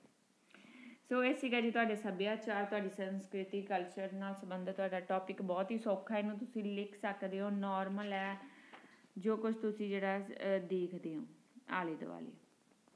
ਸੋ ਨੈਕਸਟ ਹੈਗਾ ਜੀ ਆਪਣਾ social change concept and factor responsible for social change ਇਹ ਜ਼ਿਆਦਾਤਰ ਟੌਪਿਕ ਜਿਹੜਾ ਆਪਣਾ ਸੋਸ਼ਲ ਮੋਬਿਲਿਟੀ ਪੜਿਆ ਸੀ, ਸਮਾਜਿਕ ਗਤੀਸ਼ੀਲਤਾ ਉਹਦੇ ਨਾਲ ਹੀ ਮਿਲਦਾ ਜੁਲਦਾ ਉਹਦੇ ਵਿੱਚ ਹੀ ਪਰਿਵਰਤਨ ਦੀ ਗੱਲ ਕੀਤੀ ਗਈ ਸੀ, ਇੱਥੇ ਵੀ ਪਰਿਵਰਤਨ ਹੈ, ਸਮਾਜਿਕ ਪਰਿਵਰਤਨ। ਸਮਾਜਿਕ ਪਰਿਵਰਤਨ ਧਾਰਨਾ ਤੇ ਕਾਰਕ ਦੋ ਹੀ ਟੌਪਿਕ ਨੇ। ਇੰਟਰੋਡਕਸ਼ਨ ਹੈ ਜੀ, ਪਰਿਵਰਤਨ ਕੁਦਰਤ ਦਾ ਪਰਿਵਰਤਨ ਕੁਦਰਤ ਦਾ ਨਿਰਮਾਣ ਨਹੀਂ ਸੌਰੀ ਨਿਜ਼ਮ ਲਿਖਣਾ ਸੀ ਇੱਥੇ। ਪਰਿਵਰਤਨ ਕੁਦਰਤ ਦਾ ਨਿਜ਼ਮ ਹੈ। ਸੋ ਨਿਜ਼ਮ ਕਰ ਲਿਓ ਇੱਥੇ। ਇਸ ਕਰਕੇ ਪਰਿਵਰਤਨ ਸਮਾਜ ਦਾ ਨਿਯਮ ਵੀ ਹੈ। ਇਸ ਕਰਕੇ ਪਰਿਵਰਤਨ ਸਮਾਜ ਦਾ ਨਿਯਮ ਹੀ ਹੈ। ਸਮਾਜ ਵਿੱਚ ਹਮੇਸ਼ਾ ਪਰਿਵਰਤਨ ਹੁੰਦੇ ਰਹਿੰਦੇ ਹਨ।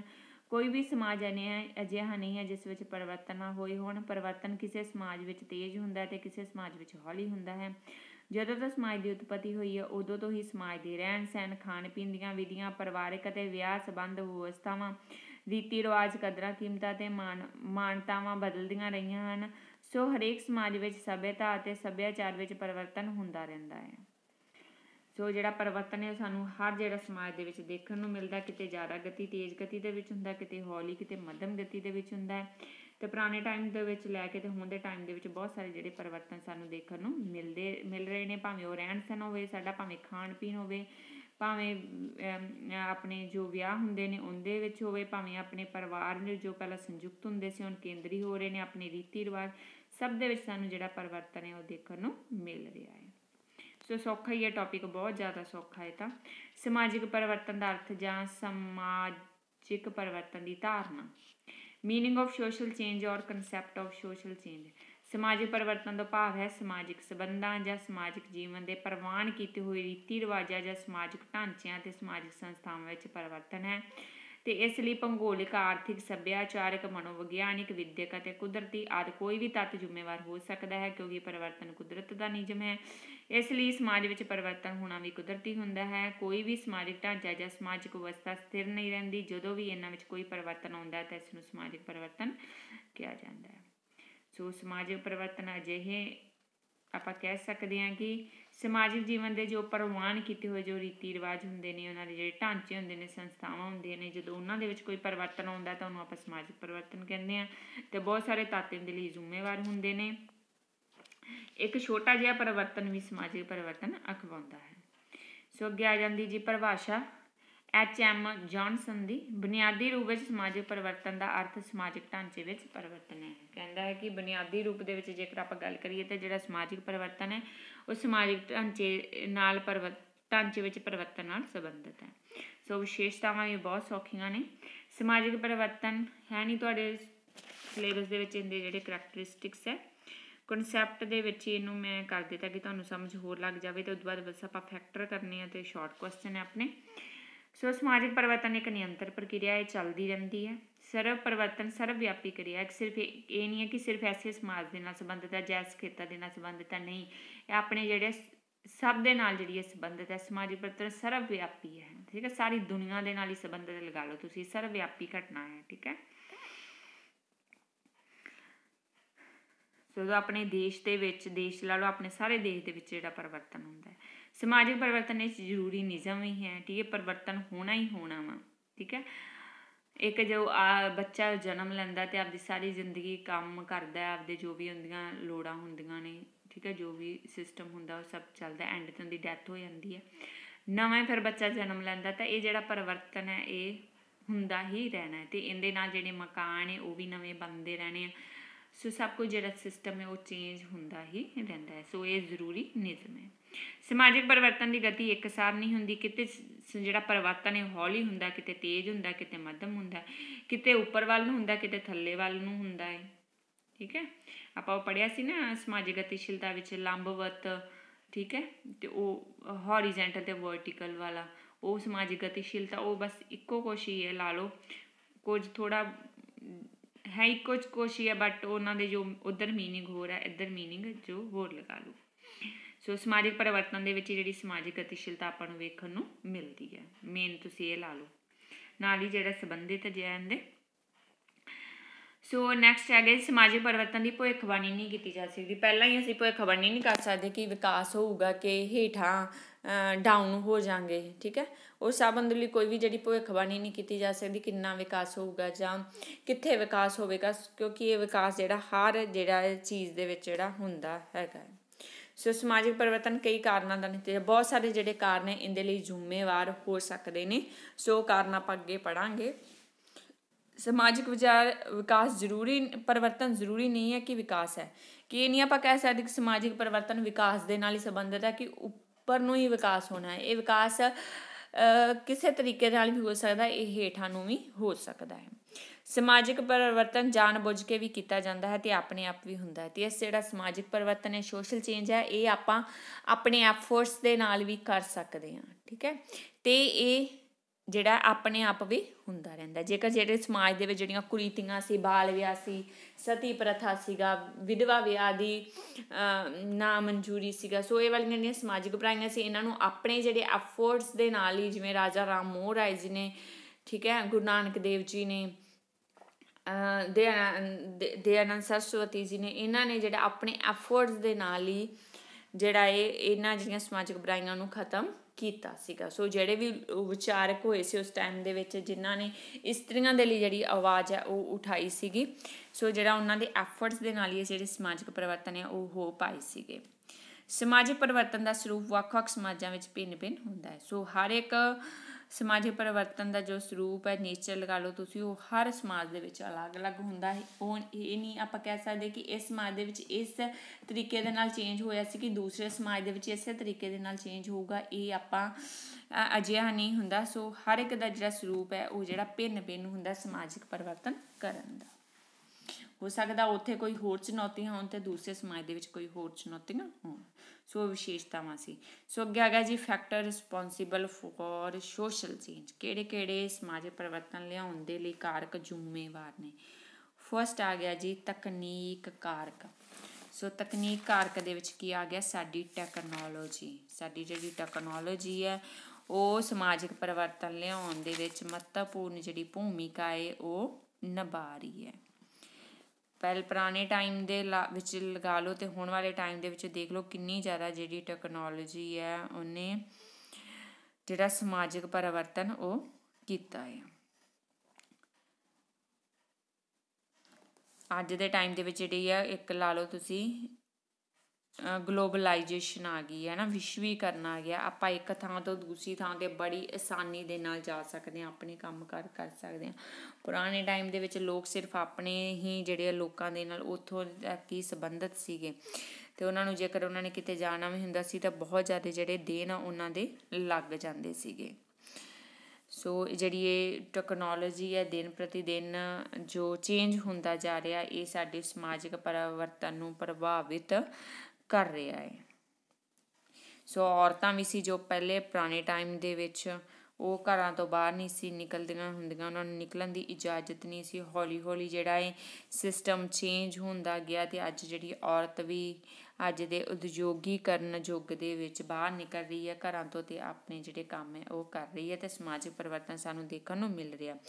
ਕਿਉਂਕਿ ਜਿਹੜੀਆਂ ਲੋੜਾਂ ਨੇ ਮਨੁੱਖ ਦੀਆਂ, ਉਹ ਬਹੁਤ ਹੀ ਜ਼ਿਆਦਾ ਵੱਧ ਗਈਆਂ ਨੇ। ਇਸ ਕਰਕੇ ਜਿਹੜਾ ਸਾਰੇ ਪਰਿਵਾਰ ਦੇ ਮੈਂਬਰਾਂ ਨੂੰ ਅੱਜ ਦੇ ਟਾਈਮ ਦੇ ਵਿੱਚ ਜਿਹੜਾ ਕੰਮ ਕਰਨਾ ਪੈ ਰਿਹਾ ਹੈ। ਸੋ ਟੈਕਨੋਲੋਜੀ ਹੈ, ਉਹ ਬਹੁਤ ਜ਼ਿਆਦਾ ਜਿਹੜਾ ਪ੍ਰਭਾਵ ਹੈ, ਉਹ ਪਾ ਰਹੀ ਹੈ। ਪਹਿਲਾਂ ਘਰੇਲੂ ਉਦਯੋਗ ਹੁੰਦੇ ਸੀ, ਅੱਜ ਕੱਲ ਮਸ਼ੀਨਾਂ ਆ ਗਈਆਂ ਨੇ। ਤਾਂ ਇਹਨਾਂ ਨੇ ਵੀ ਜਿਹੜਾ ਸਮਾਜਿਕ ਪਰਿਵਰਤਨ ਹੈ, ਉਹ ਕਰਨ ਦੇ ਵਿੱਚ ਆਪਣੀ ਭੂਮਿਕਾ ਨਿਭਾਈ ਹੈ, ਪ੍ਰਭਾਵ ਪਾਇਆ ਹੈ। ਨੈਕਸਟ ਆ ਗਿਆ ਜੀ, ਆਰਥਿਕ ਕਾਰਨ, ਤੱਤ ਜਾਂ ਆਰਥਿਕ ਕਾਰਕ ਸੋ ਆਰਥਿਕ ਪੱਧਰ ਨੇ ਵੀ ਪ੍ਰਭਾਵ ਪਾਇਆ। ਪੁਰਾਣੇ ਟਾਈਮ ਦੇ ਵਿੱਚ ਉੱਥੋਂ ਹੀ ਜਿਹੜਾ ਜੰਗਲਾਂ ਦੇ ਵਿੱਚ ਸ਼ਿਕਾਰ ਕਰਕੇ ਤੇ ਉੱਥੋਂ ਹੀ ਜਿਹੜਾ ਇਹ ਭੋਜਨ ਇਕੱਠਾ ਕਰਕੇ ਖਾਦਾ ਜਾਂਦਾ ਸੀਗਾ, ਠੀਕ ਹੈ? ਤੇ ਪਰ ਅੱਜ ਦੇ ਟਾਈਮ ਦੇ ਵਿੱਚ ਜਿਹੜਾ ਜੀਵਨ ਹੈ ਉਹ ਜਿਹੜਾ ਹੈ ਗੁੰਝਲਦਾਰ ਹੋ ਗਿਆ ਹੈ ਇੱਕ ਇਨਸਾਨ ਕਮਾਈ ਕਰਕੇ ਜਿਹੜੀਆਂ ਲੋੜਾਂ ਪਰਿਵਾਰ ਦੀਆਂ ਉਹ ਪੂਰੀਆਂ ਨਹੀਂ ਕਰ ਕਰ ਪਾ ਰਿਹਾ। ਠੀਕ ਹੈ ਤੇ ਸਾਰਿਆਂ ਨੂੰ ਕੰਮ ਕਰਨਾ ਪੈਂਦਾ ਤੇ ਇਹਦੇ ਨਾਲ ਜਿਹੜੀ ਹੈ, ਪੁਰਾਣੇ ਟਾਈਮ ਦੀ ਜੇਕਰ ਆਪਾਂ ਗੱਲ ਕਰੀਏ, ਉਦੋਂ ਨਿੱਜੀ ਸੰਪਤੀ ਦੀ ਕੋਈ ਹੋਂਦ ਨਹੀਂ ਸੀ, ਫਿਰ ਹੌਲੀ ਹੌਲੀ ਵਿਕਾਸ ਕਰਦਿਆਂ ਹੋਇਆਂ ਨਿੱਜੀ ਸੰਪਤੀ ਉਹ ਹੋਂਦ ਦੇ ਵਿੱਚ ਹੁੰਦੀ ਹੁੰਦੀ ਹੌਲੀ ਹੌਲੀ ਜਿਹੜੇ ਪਰਿਵਾਰ ਬੰਨੇ ਸਟਾਰਟ ਹੋ ਗਏ, ਪਰਿਵਾਰ ਤੋਂ ਪਿੰਡ ਬੰਨੇ ਸਟਾਰਟ ਹੋ ਗਏ, ਠੀਕ ਹੈ, ਪਰਿਵਾਰ ਤੋਂ ਛੋਟੇ ਛੋਟੇ ਜਿਹੜੇ ਆ, ਕਬੀਲੇ ਬੰਨੇ ਸਟਾਰਟ ਹੋ ਗਏ, ਕਬੀਲਿਆਂ ਤੋਂ ਪਿੰਡ ਬੰਨੇ ਸਟਾਰਟ ਹੋ ਗਏ, ਪਿੰਡਾਂ ਤੋਂ ਬਾਅਦ ਹੋਰ ਪਿੰਡ ਬੰਨੇ ਸਟਾਰਟ ਹੋ ਗਏ, ਫਿਰ ਸ਼ਹਿਰ ਬਣ ਗਏ, ਤਾਂ ਹੌਲੀ ਹੌਲੀ ਜਿਹੜਾ ਜਿਹੜਾ ਆਰਥਿਕ ਜਿਹੜੀ ਇਹ ਚੀਜ਼ ਹੈ, ਆਰਥਿਕ ਜਿਹੜਾ ਵਿਕਾਸ ਹੈ, ਉਹ ਵੀ ਜਿਹੜਾ ਜਿਹੜਾ ਸਮਾਜਿਕ ਪਰਿਵਰਤਨ ਲਿਆਉਂਦਾ ਹੈ। ਸੋ ਅੱਜ ਦੇ ਟਾਈਮ ਦੇ ਵਿੱਚ ਜਿਹੜੇ ਘਰੇਲੂ ਉਦਯੋਗ ਹੈ, ਉਹ ਖਤਮ ਹੋ ਗਏ ਨੇ ਤੇ ਮਸ਼ੀਨੀਕਰਨ ਆ ਗਿਆ ਹੈ, ਜਿਹਦੇ ਨਾਲ ਬੇਰੁਜ਼ਗਾਰੀ ਵੀ ਵਧੀ ਹੈ ਤੇ ਨਾਲ ਹੀ ਨਾਲ ਜਿਹੜਾ ਕੰਮ ਹੈ, ਉਹ ਸੌਖੇ ਤਰੀਕੇ ਦੇ ਨਾਲ ਹੋਣ ਲੱਗ ਪਿਆ ਹੈ। ਸੋ ਹਰ ਇੱਕ ਚੀਜ਼ ਦੇ ਦੋ ਪਹਿਲੂ ਹੁੰਦੇ ਨੇ ਪੋਜ਼ਿਟਿਵ ਵੀ ਤੇ ਨੈਗੇਟਿਵ ਵੀ।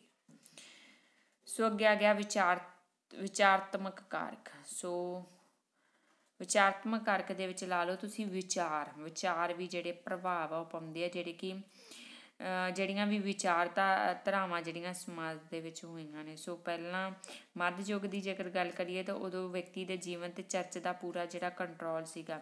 ਤੇ ਚਰਚ ਦੇ ਕੰਟਰੋਲ ਤੋਂ ਮੁਕਤ ਕਰਵਾਉਣ ਦੇ ਲਈ ਲੋਕ, ਲੋਕਾਂ ਨੂੰ ਜਿਹੜਾ ਸੀਗਾ ਵਿਚਾਰਕਾਂ ਨੇ ਉਦਾਰਵਾਦੀ ਵਿਚਾਰਧਾਰਾ ਨੂੰ ਜਨਮ ਦਿੱਤਾ ਸੀਗਾ। ਠੀਕ ਆ, ਜਿਸ ਦੇ ਨਾਲ ਜਿਹੜਾ ਵਿਅਕਤੀ ਸੀ, ਉਹ ਜਿਹੜੀ ਸੀ, ਸੁਤੰਤਰ ਹੋ ਸਕਦਾ ਸੀਗਾ ਚਰਚ ਦੇ ਕੰਟਰੋਲ ਤੋਂ। ਉਸ ਬਾਅਦ ਪੂੰਜੀਵਾਦੀ ਸਮਾਜ ਸੀ, ਜਦੋਂ ਕਿ ਅਮੀਰ ਤੇ ਗਰੀਬ ਦੇ ਵਿੱਚ ਵੰਡਿਆ ਗਿਆ ਸੀਗਾ ਸਮਾਜ। ਤੇ ਅਮੀਰ ਜਿਹੜਾ ਗਰੀਬਾਂ ਦਾ ਵੱਧ ਤੋਂ ਵੱਧ ਸ਼ੋਸ਼ਣ ਕਰ ਰਹੀ ਸੀ। ਫਿਰ ਮਾਰਕਸਵਾਦੀ ਵਿਚਾਰਧਾਰਾ ਦਾ ਜਨਮ ਹੋਇਆ ਸੀ, ਜਿਨ੍ਹਾਂ ਨੇ ਗਰੀਬਾਂ ਦੇ ਲਈ ਜਿਹੜੀ ਆ ਦਲਿਤ ਲੋਕਾਂ ਦੇ ਲਈ ਜਾਂ ਜਿਹਨਾਂ ਦਾ ਸ਼ੋਸ਼ਣ ਹੋ ਰਿਹਾ ਸੀ, ਜਿਨ੍ਹਾਂ ਲੋਕਾਂ ਦਾ ਉਹਨਾਂ ਦਾ, ਉਹਨਾਂ ਦੀ ਸਪੋਰਟ ਕੀਤੀ ਸੀ ਤੇ ਪੂੰਜੀਵਾਦ ਦਾ ਖੰਡਨ ਕੀਤਾ ਸੀਗਾ। ਸੋ ਇਹ ਜਿਹੜੀਆਂ ਵੀ ਟਾਈਮ ਟੂ ਟਾਈਮ ਜਿਹੜੀਆਂ ਵਿਚਾਰਧਾਰਾਵਾਂ ਆਉਂਦੀਆਂ ਰਹਿੰਦੀਆਂ ਨੇ ਜਾਂ ਜਿਹੜੀਆਂ ਵਿਚਾਰਕ ਬੁਰਾਈਆਂ ਦਾ ਖੰਡਨ ਕਰਦੇ ਨੇ, ਉਹ ਵੀ ਜਿਹੜਾ ਪਰਿਵਰਤਨ ਲਿਆਉਣ ਦੇ ਵਿੱਚ ਜਿਹੜੇ ਸਹੀ ਹੁੰਦੇ ਨੇ। ਸੋ ਹੋਰ ਵੀ ਜਿਹੜੀਆਂ ਸਮਾਜ ਸੁਧਾਰਕ ਲਹਿਰਾਂ ਚੱਲੀਆਂ ਨੇ, ਉਹ ਵੀ ਜਿਹੜੇ ਸਾਡੇ ਸਮਾਜਿਕ ਪਰਿਵਰਤਨ ਦੇ ਪ੍ਰਭਾਵ ਪਾ ਰਹੀਆਂ ਨੇ। ਅੱਗੇ ਆ ਗਿਆ ਸੱਭਿਆਚਾਰਕ ਕਾਰਕ। ਸੋ ਸੱਭਿਆਚਾਰਕ ਕਾਰਕ ਵੀ ਜਿਹੜਾ ਪ੍ਰਭਾਵ ਹੈ ਉਹਦਾ ਵੀ ਸਾਨੂੰ ਦੇਖਣ ਨੂੰ ਮਿਲਦਾ ਹੈ ਜੇਕਰ ਗੱਲ ਕਰੀਏ ਤਾਂ ਆਪਣੇ ਜੋ ਬਜ਼ੁਰਗ ਸੀ, ਉਹਨਾਂ ਦਾ ਪਹਿਰਾਵਾ, ਉਹਨਾਂ ਦਾ ਖਾਣ ਪੀਣ ਉਹਨਾਂ ਦਾ ਰਹਿਣ ਸਹਿਣ ਹੋਰ ਸੀਗਾ। ਅੱਜ ਦੇ ਟਾਈਮ ਦੇ ਵਿੱਚ ਜਿਹੜਾ ਪੱਛਮੀ ਜਿਹੜਾ ਸੱਭਿਆਚਾਰ ਦਾ ਪ੍ਰਭਾਵ ਹੈ, ਸਾਨੂੰ ਜਿਹੜਾ ਦੇਖਣ ਨੂੰ ਮਿਲ ਰਿਹਾ ਜਿਹੜੀ ਜਿਹੜੀ ਵੀ ਆਪਾਂ ਸੰਸਕ੍ਰਿਤੀ ਦੇ ਸੰਪਰਕ ਦੇ ਵਿੱਚ ਆਨੇ ਆ ਆਪਾਂ ਉਹਦੇ ਤੌਰ ਤਰੀਕੇ ਅਪਣਾਉਣੇ ਜਿਹੜੇ ਸਟਾਰਟ ਆ, ਉਹ ਕਰ ਦਿੱਤੇ ਨੇ। ਸੋ ਸੱਭਿਆਚਾਰ ਹੈ, ਇਹ ਵੀ ਸਾਡੇ ਵਿੱਚ ਜਿਹੜਾ ਸਮਾਜਿਕ ਪਰਿਵਰਤਨ ਲਿਆਉਣ ਦੇ ਵਿੱਚ ਜਿਹੜੀ ਆ, ਆਪਣੀ ਜਿਹੜੀ ਭੂਮਿਕਾ ਹੈ, ਉਹ ਨਿਭਾਉਂਦਾ ਹੈ। ਨੈਕਸਟ ਆ ਗਿਆ ਜੀ ਮਨੋਵਿਗਿਆਨਿਕ ਤੱਤ। ਸੋ ਮਨੋਵਿਗਿਆਨਿਕ ਤੱਤ ਵੀ ਸਾਡੇ ਉੱਪਰ, ਸਾਡੇ ਸਮਾਜਿਕ ਪਰਿਵਰਤਨ ਲਿਆਉਣ ਦੇ ਉੱਪਰ ਪ੍ਰਭਾਵ ਆਪਣਾ ਪਾਉਂਦੇ ਨੇ। ਵਿਅਕਤੀ ਦਾ ਜਿਹੜਾ ਸੁਭਾਅ ਹੈ, ਉਹ ਜਿਹੜਾ ਚੇਂਜ ਹੁੰਦਾ ਰਹਿੰਦਾ ਹੈ। ਕਿਉਂਕਿ ਜਿਹੜਾ ਪਰਿਵਰਤਨ ਲਗਾ ਲਓ ਤੁਸੀਂ, ਉਹ ਵਿਅਕਤੀ ਦੇ ਜਿਹੜਾ ਸੁਭਾਅ ਦੇ ਵਿੱਚ ਹੀ ਹੁੰਦਾ ਉਹ ਕਿਸੇ ਵੀ ਇੱਕ ਚੀਜ਼ ਦੇ ਨਾਲ ਵੱਜ ਕੇ ਨਹੀਂ ਰਹਿ ਸਕਦਾ। ਠੀਕ ਹੈ, ਇਸ ਕਰਕੇ ਪਰਿਵਰਤਨ ਲਿਆਉਣ ਦੇ ਲਈ ਉਹ ਨਵੀਆਂ ਨਵੀਆਂ ਜਿਹੜੀਆਂ ਖੋਜਾਂ ਹੈ, ਉਹ ਵੀ ਕਰਦਾ ਹੈ। ਠੀਕ ਹੈ, ਜੇਕਰ ਇੱਕ ਉਹਦੀ ਇੱਛਾ ਪੂਰੀ ਹੋ ਜਾਂਦੀ ਹੈ, ਤਾਂ ਹੋਰ ਇੱਛਾ ਉਹਦੀ, ਹੋਰ ਇੱਛਾ ਜਨਮ ਲੈ ਲੈਂਦੀ ਹੈ ਨਾ ਉਹਦੇ ਮਨ ਦੇ ਵਿੱਚ। ਤੇ ਇਹ ਪਰਿਵਾਰ ਨਿਯੰਤਰਣ ਚੱਲਦਾ ਰਹਿੰਦਾ ਵਿਅਕਤੀ ਜੇਕਰ ਛੋਟੀ ਜੌਬ ਤੇ ਹੈ, ਤਾਂ ਉਹ ਆਖੇਗਾ, ਮੈਂ ਵੱਡੀ ਜੌਬ ਤੇ ਜਾਣਾ ਵਾ ਨਾ। ਥੋੜੀ ਪੜ੍ਹਾਈ ਕੀਤੀ ਹੈ, ਤਾਂ ਆਖੇਗਾ, ਮੈਂ ਹੋਰ ਪੜ੍ਹਾਈ ਕਰ ਲਾਂ ਸੋ ਇਹ ਸਾਰੀਆਂ ਚੀਜ਼ਾਂ ਜਿਹੜੀਆਂ ਸਮਾਜਿਕ ਪਰਿਵਰਤਨ ਜਿਹੜੀਆਂ ਲਿਆਉਣ ਦੇ ਵਿੱਚ ਵਿੱਚ ਆਪਣੀ ਜਿਹੜੀ ਭੂਮਿਕਾ ਉਹ ਨਿਭਾਉਂਦੀਆਂ ਨੇ। ਕਿਉਂਕਿ ਸਮਾਜਿਕ ਪਰਿਵਰਤਨ ਮਨੁੱਖ ਦੁਆਰਾ ਕੀਤਾ ਜਾਂਦਾ ਹੈ। ਇਸ ਕਰਕੇ ਮਨੁੱਖ ਦੀ ਸੋਚ ਜਿਹੜੀ ਉਹ ਪਰਿਵਰਤਨਸ਼ੀਲ ਹੈ ਤੇ ਇਸ ਕਰਕੇ ਜਿਹੜਾ ਸਮਾਜਿਕ ਪਰਿਵਰਤਨ ਆਉਂਦਾ ਮਨੁੱਖ ਦਾ ਜਿਹੜਾ ਪ੍ਰਭਾਵ ਹੈ ਉਹ ਪੈਂਦਾ ਹੈ। ਸੋ ਅੱਗੇ ਆ ਗਿਆ ਜਨਸੰਖਿਆ। ਸੋ ਜਨਸੰਖਿਆ ਦਾ ਜਿਹੜਾ ਪ੍ਰਭਾਵ ਹੈ ਉਹ ਵੀ ਜਿਹੜਾ ਸਮਾਜਿਕ ਪਰਿਵਰਤਨ ਦੇ ਉੱਪਰ ਪੈਂਦਾ ਹੈ। ਜੇਕਰ ਜਨਸੰਖਿਆ ਥੋੜੀ ਹੈ ਕੰਮ ਜ਼ਿਆਦਾ ਤਾਂ ਲੋਕਾਂ ਨੂੰ ਜਿਹੜਾ ਆਸਾਨੀ ਦੇ ਨਾਲ ਜਿਹੜਾ ਕੰਮ ਮਿਲ ਜਾਵੇਗਾ ਤੇ ਉਹ ਆਪਣਾ ਜੀਵਨ ਨਿਰਵਾਹ ਕਰ ਪਾਉਂਦੇ ਨੇ, ਹਨਾ? ਪੁਰਾਣੇ ਟਾਈਮ ਦੇ ਵਿੱਚ ਜਿਹੜਾ ਜਨਸੰਖਿਆ ਵਧਾਉਣ ਦੇ ਲਈ ਤੇ ਜਿਹੜਾ ਜ਼ੋਰ ਦਿੱਤਾ ਜਾਂਦਾ ਸੀ, ਪਰ ਅੱਜ ਦੇ ਟਾਈਮ ਦੇ ਵਿੱਚ ਜਨਸੰਖਿਆ ਇੱਕ ਜਿਹੜੀ ਸਮੱਸਿਆ ਬਣ ਗਈ ਹੈ, ਠੀਕ ਹੈ? ਤੇ ਜਨਸੰਖਿਆ ਜ਼ਿਆਦਾ ਹੋਣ ਦੇ ਨਾਲ ਜਿਹੜੀ ਗਰੀਬੀ ਭੁੱਖਮਰੀ ਜਿਹੜੀ ਹੈ ਉਹ ਅਜਿਹੀਆਂ ਜਿਹੜੀਆਂ, ਲਾ ਲਓ ਤੁਸੀਂ ਬਿਮਾਰੀਆਂ ਨੇ, ਅਜਿਹੀਆਂ ਜਿਹੜੀਆਂ ਪੈਦਾ ਹੋ ਰਹੀਆਂ ਨੇ, ਠੀਕ ਹੈ? ਗਰੀਬੀ ਪੈਦਾ ਹੋ ਰਹੀ ਹੈ, ਭੁੱਖਮਰੀ ਆ ਰਹੀ ਹੈ, ਸੋ ਲੋਕਾਂ ਨੂੰ ਜਿਹੜੇ ਕੰਮ ਹੈ ਉਹ ਘੱਟ ਮਿਲ ਰਹੇ ਨੇ, ਸੋ ਇਹ ਵਾਲੀ ਜਿਹੜੀਆਂ ਚੀਜ਼ਾਂ ਨੇ, ਜਨਸੰਖਿਆ ਵੀ ਜਿਹੜੀ ਕਈ ਬੁਰਾਈਆਂ ਨੂੰ ਵੀ ਜਿਹੜੀ ਹੈ ਜਨਮ ਉਹ ਦੇ ਦਿੰਦੀ ਹੈ, ਕਿ ਵੀ ਕੁੜੀਆਂ ਦੀ ਜਿਹੜੀ ਸੰਖਿਆ ਘੱਟ ਹੋਣ ਦੇ ਨਾਲ ਵੀ ਬਹੁਤ ਸਾਰੀਆਂ ਜਿਹੜੀਆਂ ਬੁਰਾਈਆਂ ਜਨਮ ਲੈ ਲੈਂਦੀਆਂ ਨੇ ਮੁੰਡਿਆਂ ਦੀ ਗਿਣਤੀ ਘੱਟ ਹੋਣ ਦੇ ਨਾਲ ਵੀ ਬਹੁਤ ਸਾਰੀਆਂ ਜਿਹੜੀਆਂ ਬੁਰਾਈਆਂ ਉਹਨਾਂ ਦਾ ਜਿਹੜਾ ਜਨਮ ਹੋ ਜਾਂਦਾ ਹੈ। ਸੋ ਇਹ ਵੀ ਸਮਾਜਿਕ ਪਰਿਵਰਤਨ ਤੇ ਆਪਣਾ ਪ੍ਰਭਾਵ ਪਾਉਂਦੇ ਆ ਉਸ ਤੋਂ ਅੱਗੇ ਆ ਜੀ ਭੂਗੋਲਿਕ ਤੱਤ ਭੂਗੋਲਿਕ ਤੱਤ ਜਿਹੋ ਜੇ ਵਾਤਾਵਰਣ ਦੇ ਵਿੱਚ ਆਪਾਂ ਰਹਿ ਰਹੇ ਆ ਉਹ ਵਾਤਾਵਰਣ ਵੀ ਆਪਣੇ ਸਮਾਜਿਕ ਪਰਿਵਰਤਨ ਨੂੰ ਪ੍ਰਭਾਵਿਤ ਕਰਦਾ ਹੈ। ਇੱਕ ਹੁੰਦਾ ਗਰਮ ਜਲਵਾਜੂ ਇੱਕ ਹੁੰਦਾ ਠੰਡਾ ਜਲਵਾਜੂ ਠੀਕ ਹੈ? ਤੇ ਇਹ ਮਨੁੱਖ ਦੇ ਜਿਹੜੇ ਸੁਭਾਅ ਰਹਿਣ ਸਨ ਪਹਿਰਾਵੇ ਤੇ ਬਹੁਤ ਹੀ ਜ਼ਿਆਦਾ ਜਿਹੜਾ ਪ੍ਰਭਾਵ ਪਾਉਂਦੇ ਆ। ਗਰਮ ਜਲਵਾਯੂ ਵਿੱਚ ਰਹਿਣ ਵਾਲੇ ਲੋਕਾਂ ਦੇ ਸੁਭਾਅ ਵਿੱਚ ਜਿਹੜੀ ਤੇਜ਼ੀ ਹੁੰਦੀ ਹੈ ਤੇ ਇਹ ਲੋਕ ਜਿਹੜੇ ਸ਼ਾਂਤ ਸੁਭਾਅ ਦੇ ਹੁੰਦੇ ਆ ਜੇਕਰ ਠੰਡੇ ਜਲਵਾਯੂ ਦੀ ਗੱਲ ਕਰੀਏ ਤਾਂ ਉੱਥੇ ਜਿਹੜੀਆਂ ਮਨੁੱਖੀ ਗਤੀਵਿਧੀਆਂ ਘੱਟ ਹੁੰਦੀਆਂ ਨੇ ਤੇ ਉੱਥੇ ਵਿਕਾਸ ਵੀ ਘੱਟ ਹੁੰਦਾ ਤੇ ਗਰਮ ਜਲਵਾਯੂ ਵਾਲੇ ਲੋਕਾਂ ਦਾ ਜਿਹੜਾ ਵਿਕਾਸ ਹੈ ਉਹ ਜ਼ਿਆਦਾ ਹੁੰਦਾ ਇਸ ਕਰਕੇ ਭੂਗੋਲਿਕ ਤੱਤ ਵੀ ਪ੍ਰਭਾਵ ਪਾਉਂਦੇ ਨੇ। ਸੋ ਜਿੱਥੇ ਦੀ ਜਿਹੜੀ ਲਾ ਲਓ ਤੁਸੀਂ ਭੂਗੋਲਿਕ ਸਥਿਤੀ ਹੈ, ਮਿੱਟੀ ਜਿੱਥੋਂ ਦੀ ਉਪਜਾਊਪਨ ਹੁੰਦੀ ਹੈ, ਉੱਥੇ ਜਿਹੜੀ ਪੈਦਾਵਾਰ ਵੀ ਜ਼ਿਆਦਾ ਹੋਵੇਗੀ ਤੇ ਜਿੱਥੇ ਉਪਜਾਊਪਨ ਘੱਟ ਹੋਵੇਗਾ, ਉੱਥੇ ਪੈਦਾਵਾਰ ਵੀ ਘੱਟ ਹੋਵੇਗੀ। ਸੋ ਅੱਗੇ ਆ ਗਿਆ ਜੀ ਜੀਵ ਸੰਬੰਧੀ ਤੱਤ। ਸੋ ਜੀਵ ਸੰਬੰਧੀ ਤੱਤ ਵੀ ਪ੍ਰਭਾਵ ਪਾਉਂਦੇ ਨੇ ਸਮਾਜਿਕ ਪਰਿਵਰਤਨ ਦੇ ਵਿੱਚ। ਕਿਹਾ ਜਾਂਦਾ ਹੈ ਕਿ ਜਿਹੜਾ ਬੱਚਾ ਹੈ, ਉਹ ਬਹੁਤ ਸਾਰੇ ਗੁਣ ਆਪਣੇ ਮਾਤਾ-ਪਿਤਾ ਤੋਂ ਪ੍ਰਾਪਤ ਕਰਦਾ ਹੈ। ਪਰ ਇਹ ਨਹੀਂ ਆਪਾਂ ਕਹਿ ਸਕਦੇ ਕਿ ਜੇਕਰ ਮਾਤਾ-ਪਿਤਾ ਨੇ ਸਮਾਜ ਦੇ ਵਿੱਚ ਰਹਿੰਦੇ ਹੋਏ ਤਰੱਕੀ ਹਾਸਲ ਕੀਤੀ ਹੈ, ਉਹਦੀ ਜਿਹੜੀ ਸੋਚ ਉੱਚੀ ਹੈ ਤੇ ਬੱਚੇ ਦੀ ਵੀ ਅੱਗੇ ਜਾ ਕੇ ਸੋਚ ਉੱਚੀ ਹੋਵੇਗੀ। ਸੋ ਇਹੀ ਇਹ ਵੀ ਜਿਹੜੀਆਂ ਚੀਜ਼ਾਂ ਨੇ, ਉਹ ਪ੍ਰਭਾਵ ਪਾਉਂਦੀਆਂ ਨੇ। ਪੀੜ੍ਹੀ ਦਰ ਪੀੜ੍ਹੀ ਸਾਡਾ ਸਮਾਜ ਤੇ ਇੱਕ ਪਰਿਵਰਤਨ ਤੇ ਜਿਹੜਾ ਪ੍ਰਭਾਵ ਹੈ, ਉਹ ਪੈਂਦਾ ਹੈ। ਇਹ ਜ਼ਰੂਰੀ ਨਹੀਂ ਹੈ ਕਿ ਬੱਚੇ ਦੇ ਵਿੱਚ ਵੀ ਜਿਹੜੇ ਗੁਣ ਹੈ ਤੇ ਜਿਹੜੀਆਂ ਯੋਗਤਾਵਾਂ ਨੇ ਉਹ ਮਾਤਾ-ਪਿਤਾ ਦੇ ਬਰਾਬਰ ਹੀ ਹੋਣਗੀਆਂ। ਕਈ ਵਾਰੀ ਮਾਤਾ-ਪਿਤਾ ਤਾਂ ਬਹੁਤ ਜ਼ਿਆਦਾ ਜਿਹੜੇ ਤਰੱਕੀ ਹਾਸਲ ਕਰਦੇ ਆ, ਪਰ ਬੱਚਾ ਜਿਹੜਾ ਹੈ ਉਹਨਾਂ ਦੀ ਸਾਰੀ ਜਿਹੜੀ ਤਰੱਕੀ ਨੂੰ ਜਿਹੜੀ ਮਸਲ ਮੇਲ ਕਰ ਦਿੰਦਾ ਹੈ। ਸੋ ਇਸ ਕਰਕੇ ਜੀਵ ਸੰਬੰਧੀ ਤੱਤ ਵੀ ਸਮਾਜਿਕ ਪਰਿਵਰਤਨ ਤੇ ਆਪਦਾ ਪ੍ਰਭਾਵ ਪਾਉਂਦੇ ਨੇ। ਨੈਕਸਟ ਆ ਗਿਆ ਜੀ ਰਾਜਨੀਤਿਕ ਕਾਰਨ। ਸੋ ਰਾਜਨੀਤਿਕ ਕਾਰਨ ਵੀ ਪ੍ਰਭਾਵ ਪਾਉਂਦੇ ਨੇ। ਸਰਕਾਰ ਕਿਸ ਤਰ੍ਹਾਂ ਦੀਆਂ ਸਹੂਲਤਾਂ ਸਮਾਜ ਦੇ ਵਿੱਚ ਦੇ ਰਹੀ ਹੈ, ਇਹ ਵੀ ਚੀਜ਼ਾਂ ਬਹੁਤ ਜ਼ਿਆਦੀਆਂ ਜਿਹੜੀਆਂ ਮੈਟਰ ਕਰਦੀਆਂ ਨੇ ਸਮਾਜਿਕ ਪਰਿਵਰਤਨ ਲਿਆਉਣ ਦੇ ਵਿੱਚ। ਜੇਕਰ ਸਰਕਾਰ ਜਿਹੜੀ ਆਪਦਾ ਤਾਨਾਸ਼ਾਹੀ ਜਿਹੜਾ ਰੂਲ ਅਦਾ ਕਰ ਰਹੀ ਹੈ, ਤਾਂ ਉਥੋਂ ਦੇ ਲੋਕ ਜਿਹੜੇ ਸੁਤੰਤਰ ਨਹੀਂ ਹੋਣਗੇ, ਕੰਮ ਨਹੀਂ ਕਰ ਸਕਣਗੇ ਤੇ ਸਮਾਜਿਕ ਪਰਿਵਰਤਨ ਜਿਹੜਾ ਹੈ ਲੋਕਾਂ ਦੁਆਰਾ ਕੀਤਾ ਜਾਂਦਾ, ਉਹ ਹੌਲੀ ਹੋ ਜਾਏਗਾ। ਜੇਕਰ ਲੋਕਤੰਤਰ ਹੈ ਤੇ ਲੋਕਾਂ ਦੀ ਭਲਾਈ ਦੇ ਲਈ ਜਿਹੜੀ ਸਰਕਾਰ ਕੰਮ ਕਰੇਗੀ, ਤਾਂ ਲੋਕਾਂ ਦਾ ਜਿਹੜਾ ਵਿਕਾਸ ਹੈ, ਉਹ ਜ਼ਿਆਦਾ ਹੋ ਪਾਵੇਗਾ। ਇਸ ਕਰਕੇ ਰਾਜਨੀਤਿਕ ਕਾਰਕ ਵੀ ਆਪਣਾ ਪ੍ਰਭਾਵ ਪਾਉਂਦਾ ਹੈ। ਨੈਕਸਟ ਆ ਗਿਆ ਜੀ, ਧਾਰਮਿਕ ਕਾਰਕ ਸੋ ਧਰਮ ਵੀ ਕਿਤੇ ਨਾ ਕਿਤੇ ਜਾ ਕੇ ਜਿਹੜਾ ਪ੍ਰਭਾਵ ਹੈ, ਉਹ ਸਮਾਜਿਕ ਪਰਿਵਰਤਨ ਤੇ ਪਾਉਂਦਾ ਹੈ। ਜੇਕਰ ਧਰਮ ਦੇ ਅਨੁਸਾਰ ਜਿਹੜਾ ਇਹ ਲੋਕੀ ਜਿਹੜੇ ਅੰਧ ਵਿਸ਼ਵਾਸਾਂ ਦੇ ਵਿੱਚ ਫਸੇ ਹੋਏ ਨੇ, ਤਾਂ ਉਹਦਾ ਵਿਕਾਸ ਨਹੀਂ ਕਰ ਪਾਉਣਗੇ। ਜੇਕਰ ਲੋਕਾਂ ਦੀ ਸੋਚ ਜਿਹੜੀ ਹੈ ਅਗਾਹ ਵਧੂ ਹੋਵੇਗੀ, ਠੀਕ ਹੈ, ਉਹ ਇਹਨਾਂ ਚੀਜ਼ਾਂ ਦੇ ਵਿੱਚ ਵਿਸ਼ਵਾਸ ਨਹੀਂ ਕਰਨਗੇ, ਤਾਂ ਫਿਰ ਜਿਹੜਾ ਸਮਾਜਿਕ ਪਰਿਵਰਤਨ ਹੈ ਉਹ ਸਾਨੂੰ ਜ਼ਿਆਦਾ ਦੇਖਣ ਨੂੰ ਮਿਲੇਗਾ। ਤੇ ਬਹੁਤ ਸਾਰੀਆਂ ਜਿਹੜੀਆਂ ਭਾਵਨਾਵਾਂ ਵੀ ਉਹ ਧਰਮ ਦੇ ਦੁਆਰਾ ਜਿਹੜੀਆਂ ਨੇ ਉਹ ਬਣਦੀਆਂ ਨੇ। ਤੇ ਕਈ ਵਾਰੀ ਜਿਹੜਾ ਧਰਮ ਹੈ, ਉਹ ਰਸਤੇ ਦੇ ਵਿੱਚ ਰੁਕਾਵਟ ਵੀ ਲੋਕਾਂ ਦੇ ਵਿਕਾਸ ਦੇ ਰਸਤੇ ਵਿੱਚ ਜਾਂ ਪਰਿਵਰਤਨ ਦੇ ਰਸਤੇ ਵਿੱਚ ਰੁਕਾਵਟ ਵੀ ਬਣ ਜਾਂਦਾ ਹੈ। ਕਿਉਂਕਿ ਪੁਰਾਣੇ ਟਾਈਮ ਦੇ ਵਿੱਚ ਜੇਕਰ ਗੱਲ ਕਰੀਏ ਤਾਂ ਧਰਮ ਨੂੰ ਦੇ ਆਧਾਰ ਤੇ ਬਹੁਤ ਹੀ ਜਿਹੜੇ ਕੱਟੜਤਾ ਪਾਈ ਜਾਂਦੀ ਸੀ ਹੈ ਨਾ ਸਾਰੇ ਕੰਮ ਧਰਮ ਦੇ ਆਧਾਰ ਤੇ ਹੀ ਕੀਤੇ ਜਾਂਦੇ ਸੀਗੇ। ਸੋ ਇਸੇ ਕਰਕੇ ਜਿਹੜੀ ਹੈ ਸਤੀ ਪ੍ਰਥਾ ਵੀ ਜਿਹੜੀ ਉਸ ਟਾਈਮ ਤੇ ਜਿਹੜੀ ਪ੍ਰਚਲਿਤ ਸੀਗੀ, ਹਨਾ? ਬਾਲ ਵਿਆਹ ਜਿਹੜਾ ਪ੍ਰਚਲਿਤ ਸੀਗਾ ਸੋ ਕਈ ਵਾਰ ਕਹਿੰਦਾ ਤਾਂ ਇਹ ਵਾਲੀਆਂ ਚੀਜ਼ਾਂ ਜਿਹੜੀਆਂ ਬੁਰਾਈਆਂ, ਜਿਹੜੀਆਂ ਸਮਾਜਿਕ ਪਰਿਵਰਤਨ ਦੇ ਰਸਤੇ ਵਿੱਚ ਰੁਕਾਵਟ ਨੇ ਤੇ ਜਲਦੀ ਇਹਨੂੰ ਜਿਹੜਾ ਹੈ ਚੇਂਜ ਲਿਆਉਣਾ ਜਿਹੜਾ ਧਰਮ, ਧਾਰਮਿਕ ਲੋਕਾਂ ਦੇ ਦੁਆਰਾ ਜਿਹੜਾ ਸਵੀਕਾਰ ਹੈ, ਉਹ ਨਹੀਂ ਵੀ ਕੀਤਾ ਜਾਂਦਾ। ਸੋ ਇਸ ਕਰਕੇ ਧਰਮੀ ਸਮਾਜਿਕ ਪਰਿਵਰਤਨ ਲਿਆਉਣ ਦੇ ਵਿੱਚ ਆਪਣਾ ਜਿਹੜਾ ਪ੍ਰਭਾਵ ਹੈ, ਉਹ ਪਾਉਂਦਾ। ਪਰਿਵਰਤਨ ਕਿਸੇ ਵੀ ਤਰ੍ਹਾਂ ਦਾ ਹੋ ਸਕਦਾ, ਭਾਵੇਂ ਉਹ ਵਿਕਾਸ ਵੱਲ ਹੋਵੇ ਤੇ ਭਾਵੇਂ ਉਹ ਅਸੈਂਡਿੰਗ ਆਰਡਰ ਦੇ ਵਿੱਚ ਹੋਵੇ, ਭਾਵੇਂ ਡਿਸੈਂਡਿੰਗ ਆਰਡਰ ਦੇ ਵਿੱਚ ਹੋਵੇ। ਸੋ ਸਮਾਜਿਕ ਕਾਰਕ ਸੋ ਸਮਾਜਿਕ ਕਾਰਕ ਵੀ ਪ੍ਰਭਾਵ ਪਾਉਂਦਾ ਹੈ। ਸੋ ਸਮਾਜਿਕ ਕਾਰਕ ਦੇ ਸਮਾਜ ਦੇ ਵਿੱਚ ਬਹੁਤ ਸਾਰੇ ਜਿਹੜੇ ਨਿਯਮ ਹੁੰਦੇ ਨੇ, ਜਿਵੇਂ ਸਤੀ ਪ੍ਰਥਾ ਸੀ, ਵਿਧਵਾ ਵਿਆਹ ਸੀਗਾ, ਵਿਸ਼ੇਸ਼ ਵਿਆਹ ਕਾਨੂੰਨ ਸੀਗਾ, ਬਾਲ ਵਿਆਹ ਸੀਗਾ ਛੂ ਸ਼ਾਦੀ ਪ੍ਰਥਾ ਸੀ ਸਮਾਜ ਦੇ ਵਿੱਚ। ਇਹ ਇਹ ਸਾਰੀਆਂ ਜਿਹੜੀਆਂ ਸਮਾਜਿਕ ਬੁਰਾਈਆਂ ਸੀਗੀਆਂ ਤੇ ਇਹਨਾਂ ਨੂੰ ਜਿਹੜਾ ਦੂਰ ਕਰਨ ਦੇ ਲਈ ਕੋਸ਼ਿਸ਼ ਵੀ ਕੀਤੀ ਗਈ ਸੀਗੀ। ਤੇ ਇਹਨਾਂ ਨੂੰ ਕਾਫੀ ਹੱਦ ਤੱਕ ਇਹਦੇ ਵਿੱਚ ਜਿਹੜਾ ਚੇਂਜ ਵੀ ਉਹ ਲਿਆਂਦਾ ਗਿਆ ਤੇ ਇਹਦੇ ਨਾਲ ਵੀ ਜਿਹੜਾ ਸਮਾਜਿਕ ਪਰਿਵਰਤਨ ਹੈ, ਉਹ ਹੋਇਆ। ਲੜਕੀਆਂ ਨੂੰ ਵੀ ਜਿਹੜਾ ਪੜ੍ਹਨ ਦੇ ਹੁਣ ਜਿਹੜੇ ਮੌਕੇ ਆ, ਉਹ ਦਿੱਤੇ ਜਾ ਰਹੇ ਨੇ, ਜਾਤ ਪਾਤ ਦੇ ਜਿਹੜੇ ਬੰਧਨ ਨੇ ਉਹ ਜਿਹੜੇ ਆ ਹੁਣ ਘਟ ਗਿਆ ਏ ਠੀਕ ਆ, ਭੇਦਭਾਵ ਘਟ ਗਿਆ ਏ ਸੋ ਇਹ ਸਾਰੇ ਜਿਹੜੇ ਸਮਾਜਿਕ ਪਰਿਵਰਤਨ ਦੇ ਨਾਲ ਹੀ ਚੀਜ਼ਾਂ ਸੰਬੰਧਿਤ ਹੁੰਦੀਆਂ ਨੇ।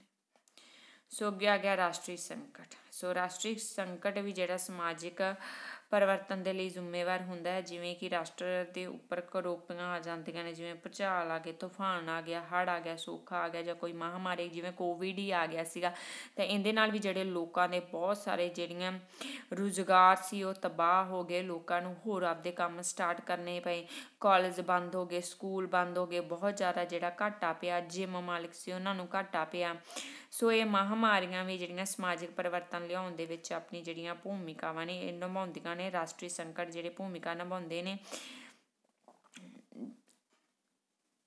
ਸੋ ਲੋਕਾਂ ਦੇ ਨੇ ਜਿਹੜੇ ਹੋਰ ਰੁਜ਼ਗਾਰ ਜਿਹੜੇ ਸਟਾਰਟ ਕੀਤੇ ਉਸ ਟਾਈਮ ਦੇ ਵਿੱਚ ਤੇ ਬਹੁਤ ਹੀ ਜਿਹੜਾ ਉਹ ਉਹ ਦੌਰ ਦੇ ਵਿੱਚ ਅੱਧੇ ਕਈ ਲੋਕਾਂ ਨੇ ਜਿਹੜਾ ਇਹ ਸੁਸਾਈਡ ਤੱਕ ਕਰ ਲਏ ਨੇ। ਸੋ ਇਹ ਰਾਸ਼ਟਰੀ ਸੰਕਟ ਵੀ ਜਿਹੜੇ ਆ ਇਹ ਵੀ ਸਮਾਜਿਕ ਪਰਿਵਰਤਨ ਲਿਆਉਣ ਦੇ ਵਿੱਚ ਜਿਹੜੀ ਭੂਮਿਕਾ ਨਿਭਾਉਂਦੇ ਨੇ ਤੇ ਹੁਣ ਜਦੋਂ ਕੋਵਿਡ ਆਇਆ ਸੀ ਤਾਂ ਸਾਰਾ ਕੁਝ ਆਨਲਾਈਨ ਹੋ ਗਿਆ ਸੀ ਤੇ ਆਨਲਾਈਨ ਸਿਸਟਮ ਦੀ ਜਿਹੜੀ ਭੂਮਿਕਾ ਹੈ ਉਹ ਲਗਾ ਲਓ, ਤੁਸੀਂ ਉਹ ਬਹੁਤ ਜ਼ਿਆਦਾ ਵੱਧ ਗਈ ਸੀ, ਸਭ ਕੁਝ ਹੀ ਜਿਹੜਾ ਆਨਲਾਈਨ ਸਿਸਟਮ ਹੈ ਉਹ ਹੋ ਗਿਆ ਸੀ ਤਾਂ ਕਿਤੇ ਨਾ ਕਿਤੇ ਜਿਹੜਾ ਪ੍ਰਭਾਵ ਹੈ ਉਹ ਕੋਵਿਡ ਦਾ ਵੀ ਪਿਆ ਹੈ। ਸੋ ਇਹਨੂੰ ਤੁਸੀਂ ਐਗਜ਼ਾਮਪਲ ਦੇ ਵਿੱਚ ਹਾਈਲਾਈਟ ਕਰਕੇ ਲਿਖ ਸਕਦੇ ਹੋ ਕਿਉਂਕਿ ਇਹ ਵੀ ਰੀਸੈਂਟਲੀ ਲਗਾ ਲਓ, ਹੋਇਆ ਸੀਗਾ। ਸੋ ਉਸ ਤੋਂ ਬਾਅਦ ਯੁੱਧ ਯੁੱਧ ਵੀ ਸਮਾਜਿਕ ਪਰਿਵਰਤਨ ਲਿਆਉਣ ਦੇ ਵਿੱਚ ਜਿਹੜੀ ਭੂਮਿਕਾ ਨਿਭਾਉਂਦੇ ਨੇ ਟਾਈਮ ਟੂ ਟਾਈਮ ਬਹੁਤ ਸਾਰੇ ਜਿਹੜੇ ਯੁੱਧ ਉਹ ਹੋਏ ਨੇ। ਸੋ ਕੁਝ ਯੁੱਧ ਜਿਹੜੇ ਆ, ਕ੍ਰਾਂਤੀ ਦੇ ਨਾਲ ਵੀ ਸੰਬੰਧਿਤ ਸੀਗੇ। ਭਾਵੇਂ ਇਹਦੇ ਨਾਲ ਦੇਸ਼ ਦਾ ਬਹੁਤ ਸਾਰਾ ਜਾਨੀ ਮਾਨੀ ਨੁਕਸਾਨ ਵੀ ਹੁੰਦਾ ਹੈ, ਉਹ ਵੀ ਪਰਿਵਰਤਨ ਹੈ। ਜੇਕਰ ਯੁੱਧ ਦੇ ਨਾਲ ਕੁਝ ਨਾ ਚੇਂਜ ਹੁੰਦਾ ਹੈ ਤਾਂ ਉਹਨੂੰ ਵੀ ਆਪਾਂ ਪਰਿਵਰਤਨ ਕਹਾਂਗੇ। ਸੋ ਯੁੱਧ ਦੇ ਨਾਲ ਜਿਹੜਾ ਆਰਥਿਕ ਵਿਵਸਥਾ ਏ ਜਿਹੜੇ ਰਾਜੇ ਪੁਰਾਣੇ ਟਾਈਮ ਦੇ ਵਿੱਚ ਯੁੱਧ ਕਰਦੇ ਹੁੰਦੇ ਸੀ ਤੇ ਉਹ ਕਿਸੇ ਰਾਜ ਨੂੰ ਆਪਣੇ ਅੰਡਰ ਕਰ ਲੈਂਦੇ ਸੀਗੇ। ਠੀਕ ਹੈ ਕਿਸੇ ਦੂਸਰੇ ਰਾਜੇ ਦੇ ਦਾ ਜੋ ਸਾਮਰਾਜ ਹੁੰਦਾ ਸੀ ਤਾਂ ਉਹਦੇ ਨਾਲ ਉਹਦੀ ਆਰਥਿਕ ਜਿਹੜੀ ਇਨਕਮ ਹੈ ਉਹ ਵੀ ਵੱਧਦੀ ਸੀਗੀ। ਠੀਕ ਹੈ ਤੇ ਨਾਲ ਦੀ ਨਾਲ ਜਿਹੜਾ ਨੁਕਸਾਨ ਹੈ ਉਹ ਵੀ ਉਹਨੂੰ ਜਿਹੜਾ ਸਹਿਣ ਕਰਨਾ ਪੈਂਦਾ ਸੀ। ਇਹ ਵੀ ਜਿਹੜਾ ਸਮਾਜਿਕ ਪਰਿਵਰਤਨ ਹੀ ਦੇ ਨਾਲ ਹੀ ਚੀਜ਼ਾਂ ਸੰਬੰਧਿਤ ਨੇ। ਜਾਂ ਕੋਈ ਜਿਹੜੀ ਕ੍ਰਾਂਤੀ ਸਮਾਜ ਦੇ ਵਿੱਚ ਆਉਂਦੀ ਹੈ, ਇਹ ਵੀ ਸਮਾਜਿਕ ਪਰਿਵਰਤਨ ਦਾ ਕਾਰਨ ਬਣਦੀ ਹੈ। ਨਵੇਂ ਵਿਚਾਰਾਂ 'ਤੇ ਮਹਾਂਪੁਰਖਾਂ ਦਾ ਜਨਮ। ਸੋ ਮਹਾਂਪੁਰਖਾਂ ਦੇ ਜਿਹੜੇ ਵਿਚਾਰ ਹੁੰਦੇ ਨੇ, ਠੀਕ ਹੈ, ਇਹ ਵੀ ਜਿਹੜੇ ਸਮਾਜਿਕ ਪਰਿਵਰਤਨ ਲਿਆਉਣ ਦੇ ਵਿੱਚ ਸਹਾਈ ਹੁੰਦੇ ਨੇ, ਜਿਵੇਂ ਜਿਵੇਂ ਸਮਾਜਵਾਦ ਆਇਆ, ਫਸਿਸਟਵਾਦ ਆਇਆ, ਠੀਕ ਹੈ, ਸਾਮਵਾਦ ਸੀਗਾ। ਸੋ ਫਰਾਂਸ ਦੀ ਕ੍ਰਾਂਤੀ ਆਈ ਹੈ। ਸੋ ਇਹ ਸਾਰੇ ਵੀ ਜਿਹੜੇ ਪ੍ਰਭਾਵ ਆਪਦਾ ਜਿਹੜੇ ਆ ਸਮਾਜਿਕ ਪਰਿਵਰਤਨ ਲਿਆਉਣ ਦੇ ਵਿੱਚ ਪਾਉਂਦੇ ਨੇ। ਸੋ ਰੂਸ ਦੇ ਵਿੱਚ, ਫਿਰ ਯੂਰਪ ਦੇ ਵਿੱਚ, ਏਸ਼ੀਆ ਦੇ ਵਿੱਚ, ਵੱਡੇ ਵੱਡੇ ਦੇਸ਼ਾਂ ਦੇ ਵਿੱਚ ਵੀ ਕ੍ਰਾਂਤੀਆਂ ਆਈਆਂ ਤੇ ਇਹਨਾਂ ਕ੍ਰਾਂਤੀਆਂ ਦੇ ਨਾਲ ਉੱਥੋਂ ਦੀਆਂ ਜਿਹੜੀਆਂ ਕਦਰਾਂ, ਕੀਮਤਾਂ ਸੀ, ਰਹਿਣ ਸਹਿਣ ਸੀ, ਜੀਵਨ ਵਿਧੀ ਸੀ, ਕਾਰਜ ਕਰਨ ਦਾ ਢੰਗ ਸੀ, ਆਰਥਿਕ ਵਿਵਸਥਾ ਸੀ, ਰਾਣੀ ਦੀ ਵਿਵਸਥਾ ਦੀ ਸਭ ਕੁਝ ਜਿਹੜਾ ਬਦਲ ਗਿਆ ਸੀਗਾ। ਨੈਕਸਟ ਆ ਗਿਆ ਜੀ, ਉੱਚ ਸਥਿਤੀ ਸੰਪੰਨ ਵਿਅਕਤੀਆਂ ਦੁਆਰਾ ਮਨਜ਼ੂਰੀ। ਸੋ ਸਮਾਜ ਅਜਿਹੇ ਕਿਸੇ ਵੀ ਪਰਿਵਰਤਨ ਨੂੰ ਜਿਹੜਾ ਆਸਾਨੀ ਨਾਲ ਸਵੀਕਾਰ ਕਰ ਲੈਂਦਾ ਜਿਸ ਨੂੰ ਉੱਚ ਸਥਿਤੀ ਸੰਪੰਨ ਵਿਅਕਤੀ ਸਵੀਕਾਰ ਲੈਣ ਜੇਕਰ ਸਮਾਜ ਦੇ ਵਿੱਚ ਕੋਈ ਪਰਿਵਰਤਨ ਕਰਨਾ ਹੈ, ਤਾਂ ਉੱਚ ਸਥਿਤੀ ਲੋਕਾਂ ਦੇ ਦੁਆਰਾ ਉਹਨੂੰ ਜਿਹੜੀ ਮਨਜ਼ੂਰੀ ਦਿੱਤੀ ਜਾਣੀ ਜ਼ਰੂਰੀ ਹੈ। ਤੇ ਜੇਕਰ ਉਹਨਾਂ ਨੂੰ ਮਨਜ਼ੂਰੀ ਨਹੀਂ ਦਿੰਦੀ ਉੱਚ ਸਥਿਤੀ, ਤਾਂ ਉਸ ਪਰਿਵਰਤਨ ਨੂੰ ਮੰਨਿਆ ਨਹੀਂ ਜਾਂਦਾ।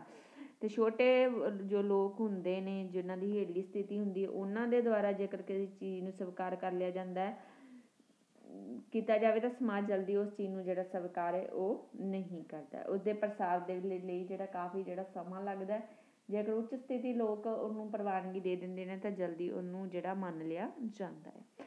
ਨੈਕਸਟ ਆ ਗਿਆ ਐਜੂਕੇਸ਼ਨ ਐਜੂਕੇਸ਼ਨ ਸਮਾਜਿਕ ਪਰਿਵਰਤਨ ਦੇ ਪ੍ਰਭਾਵ ਪਾਉਂਦੀ ਹੈ।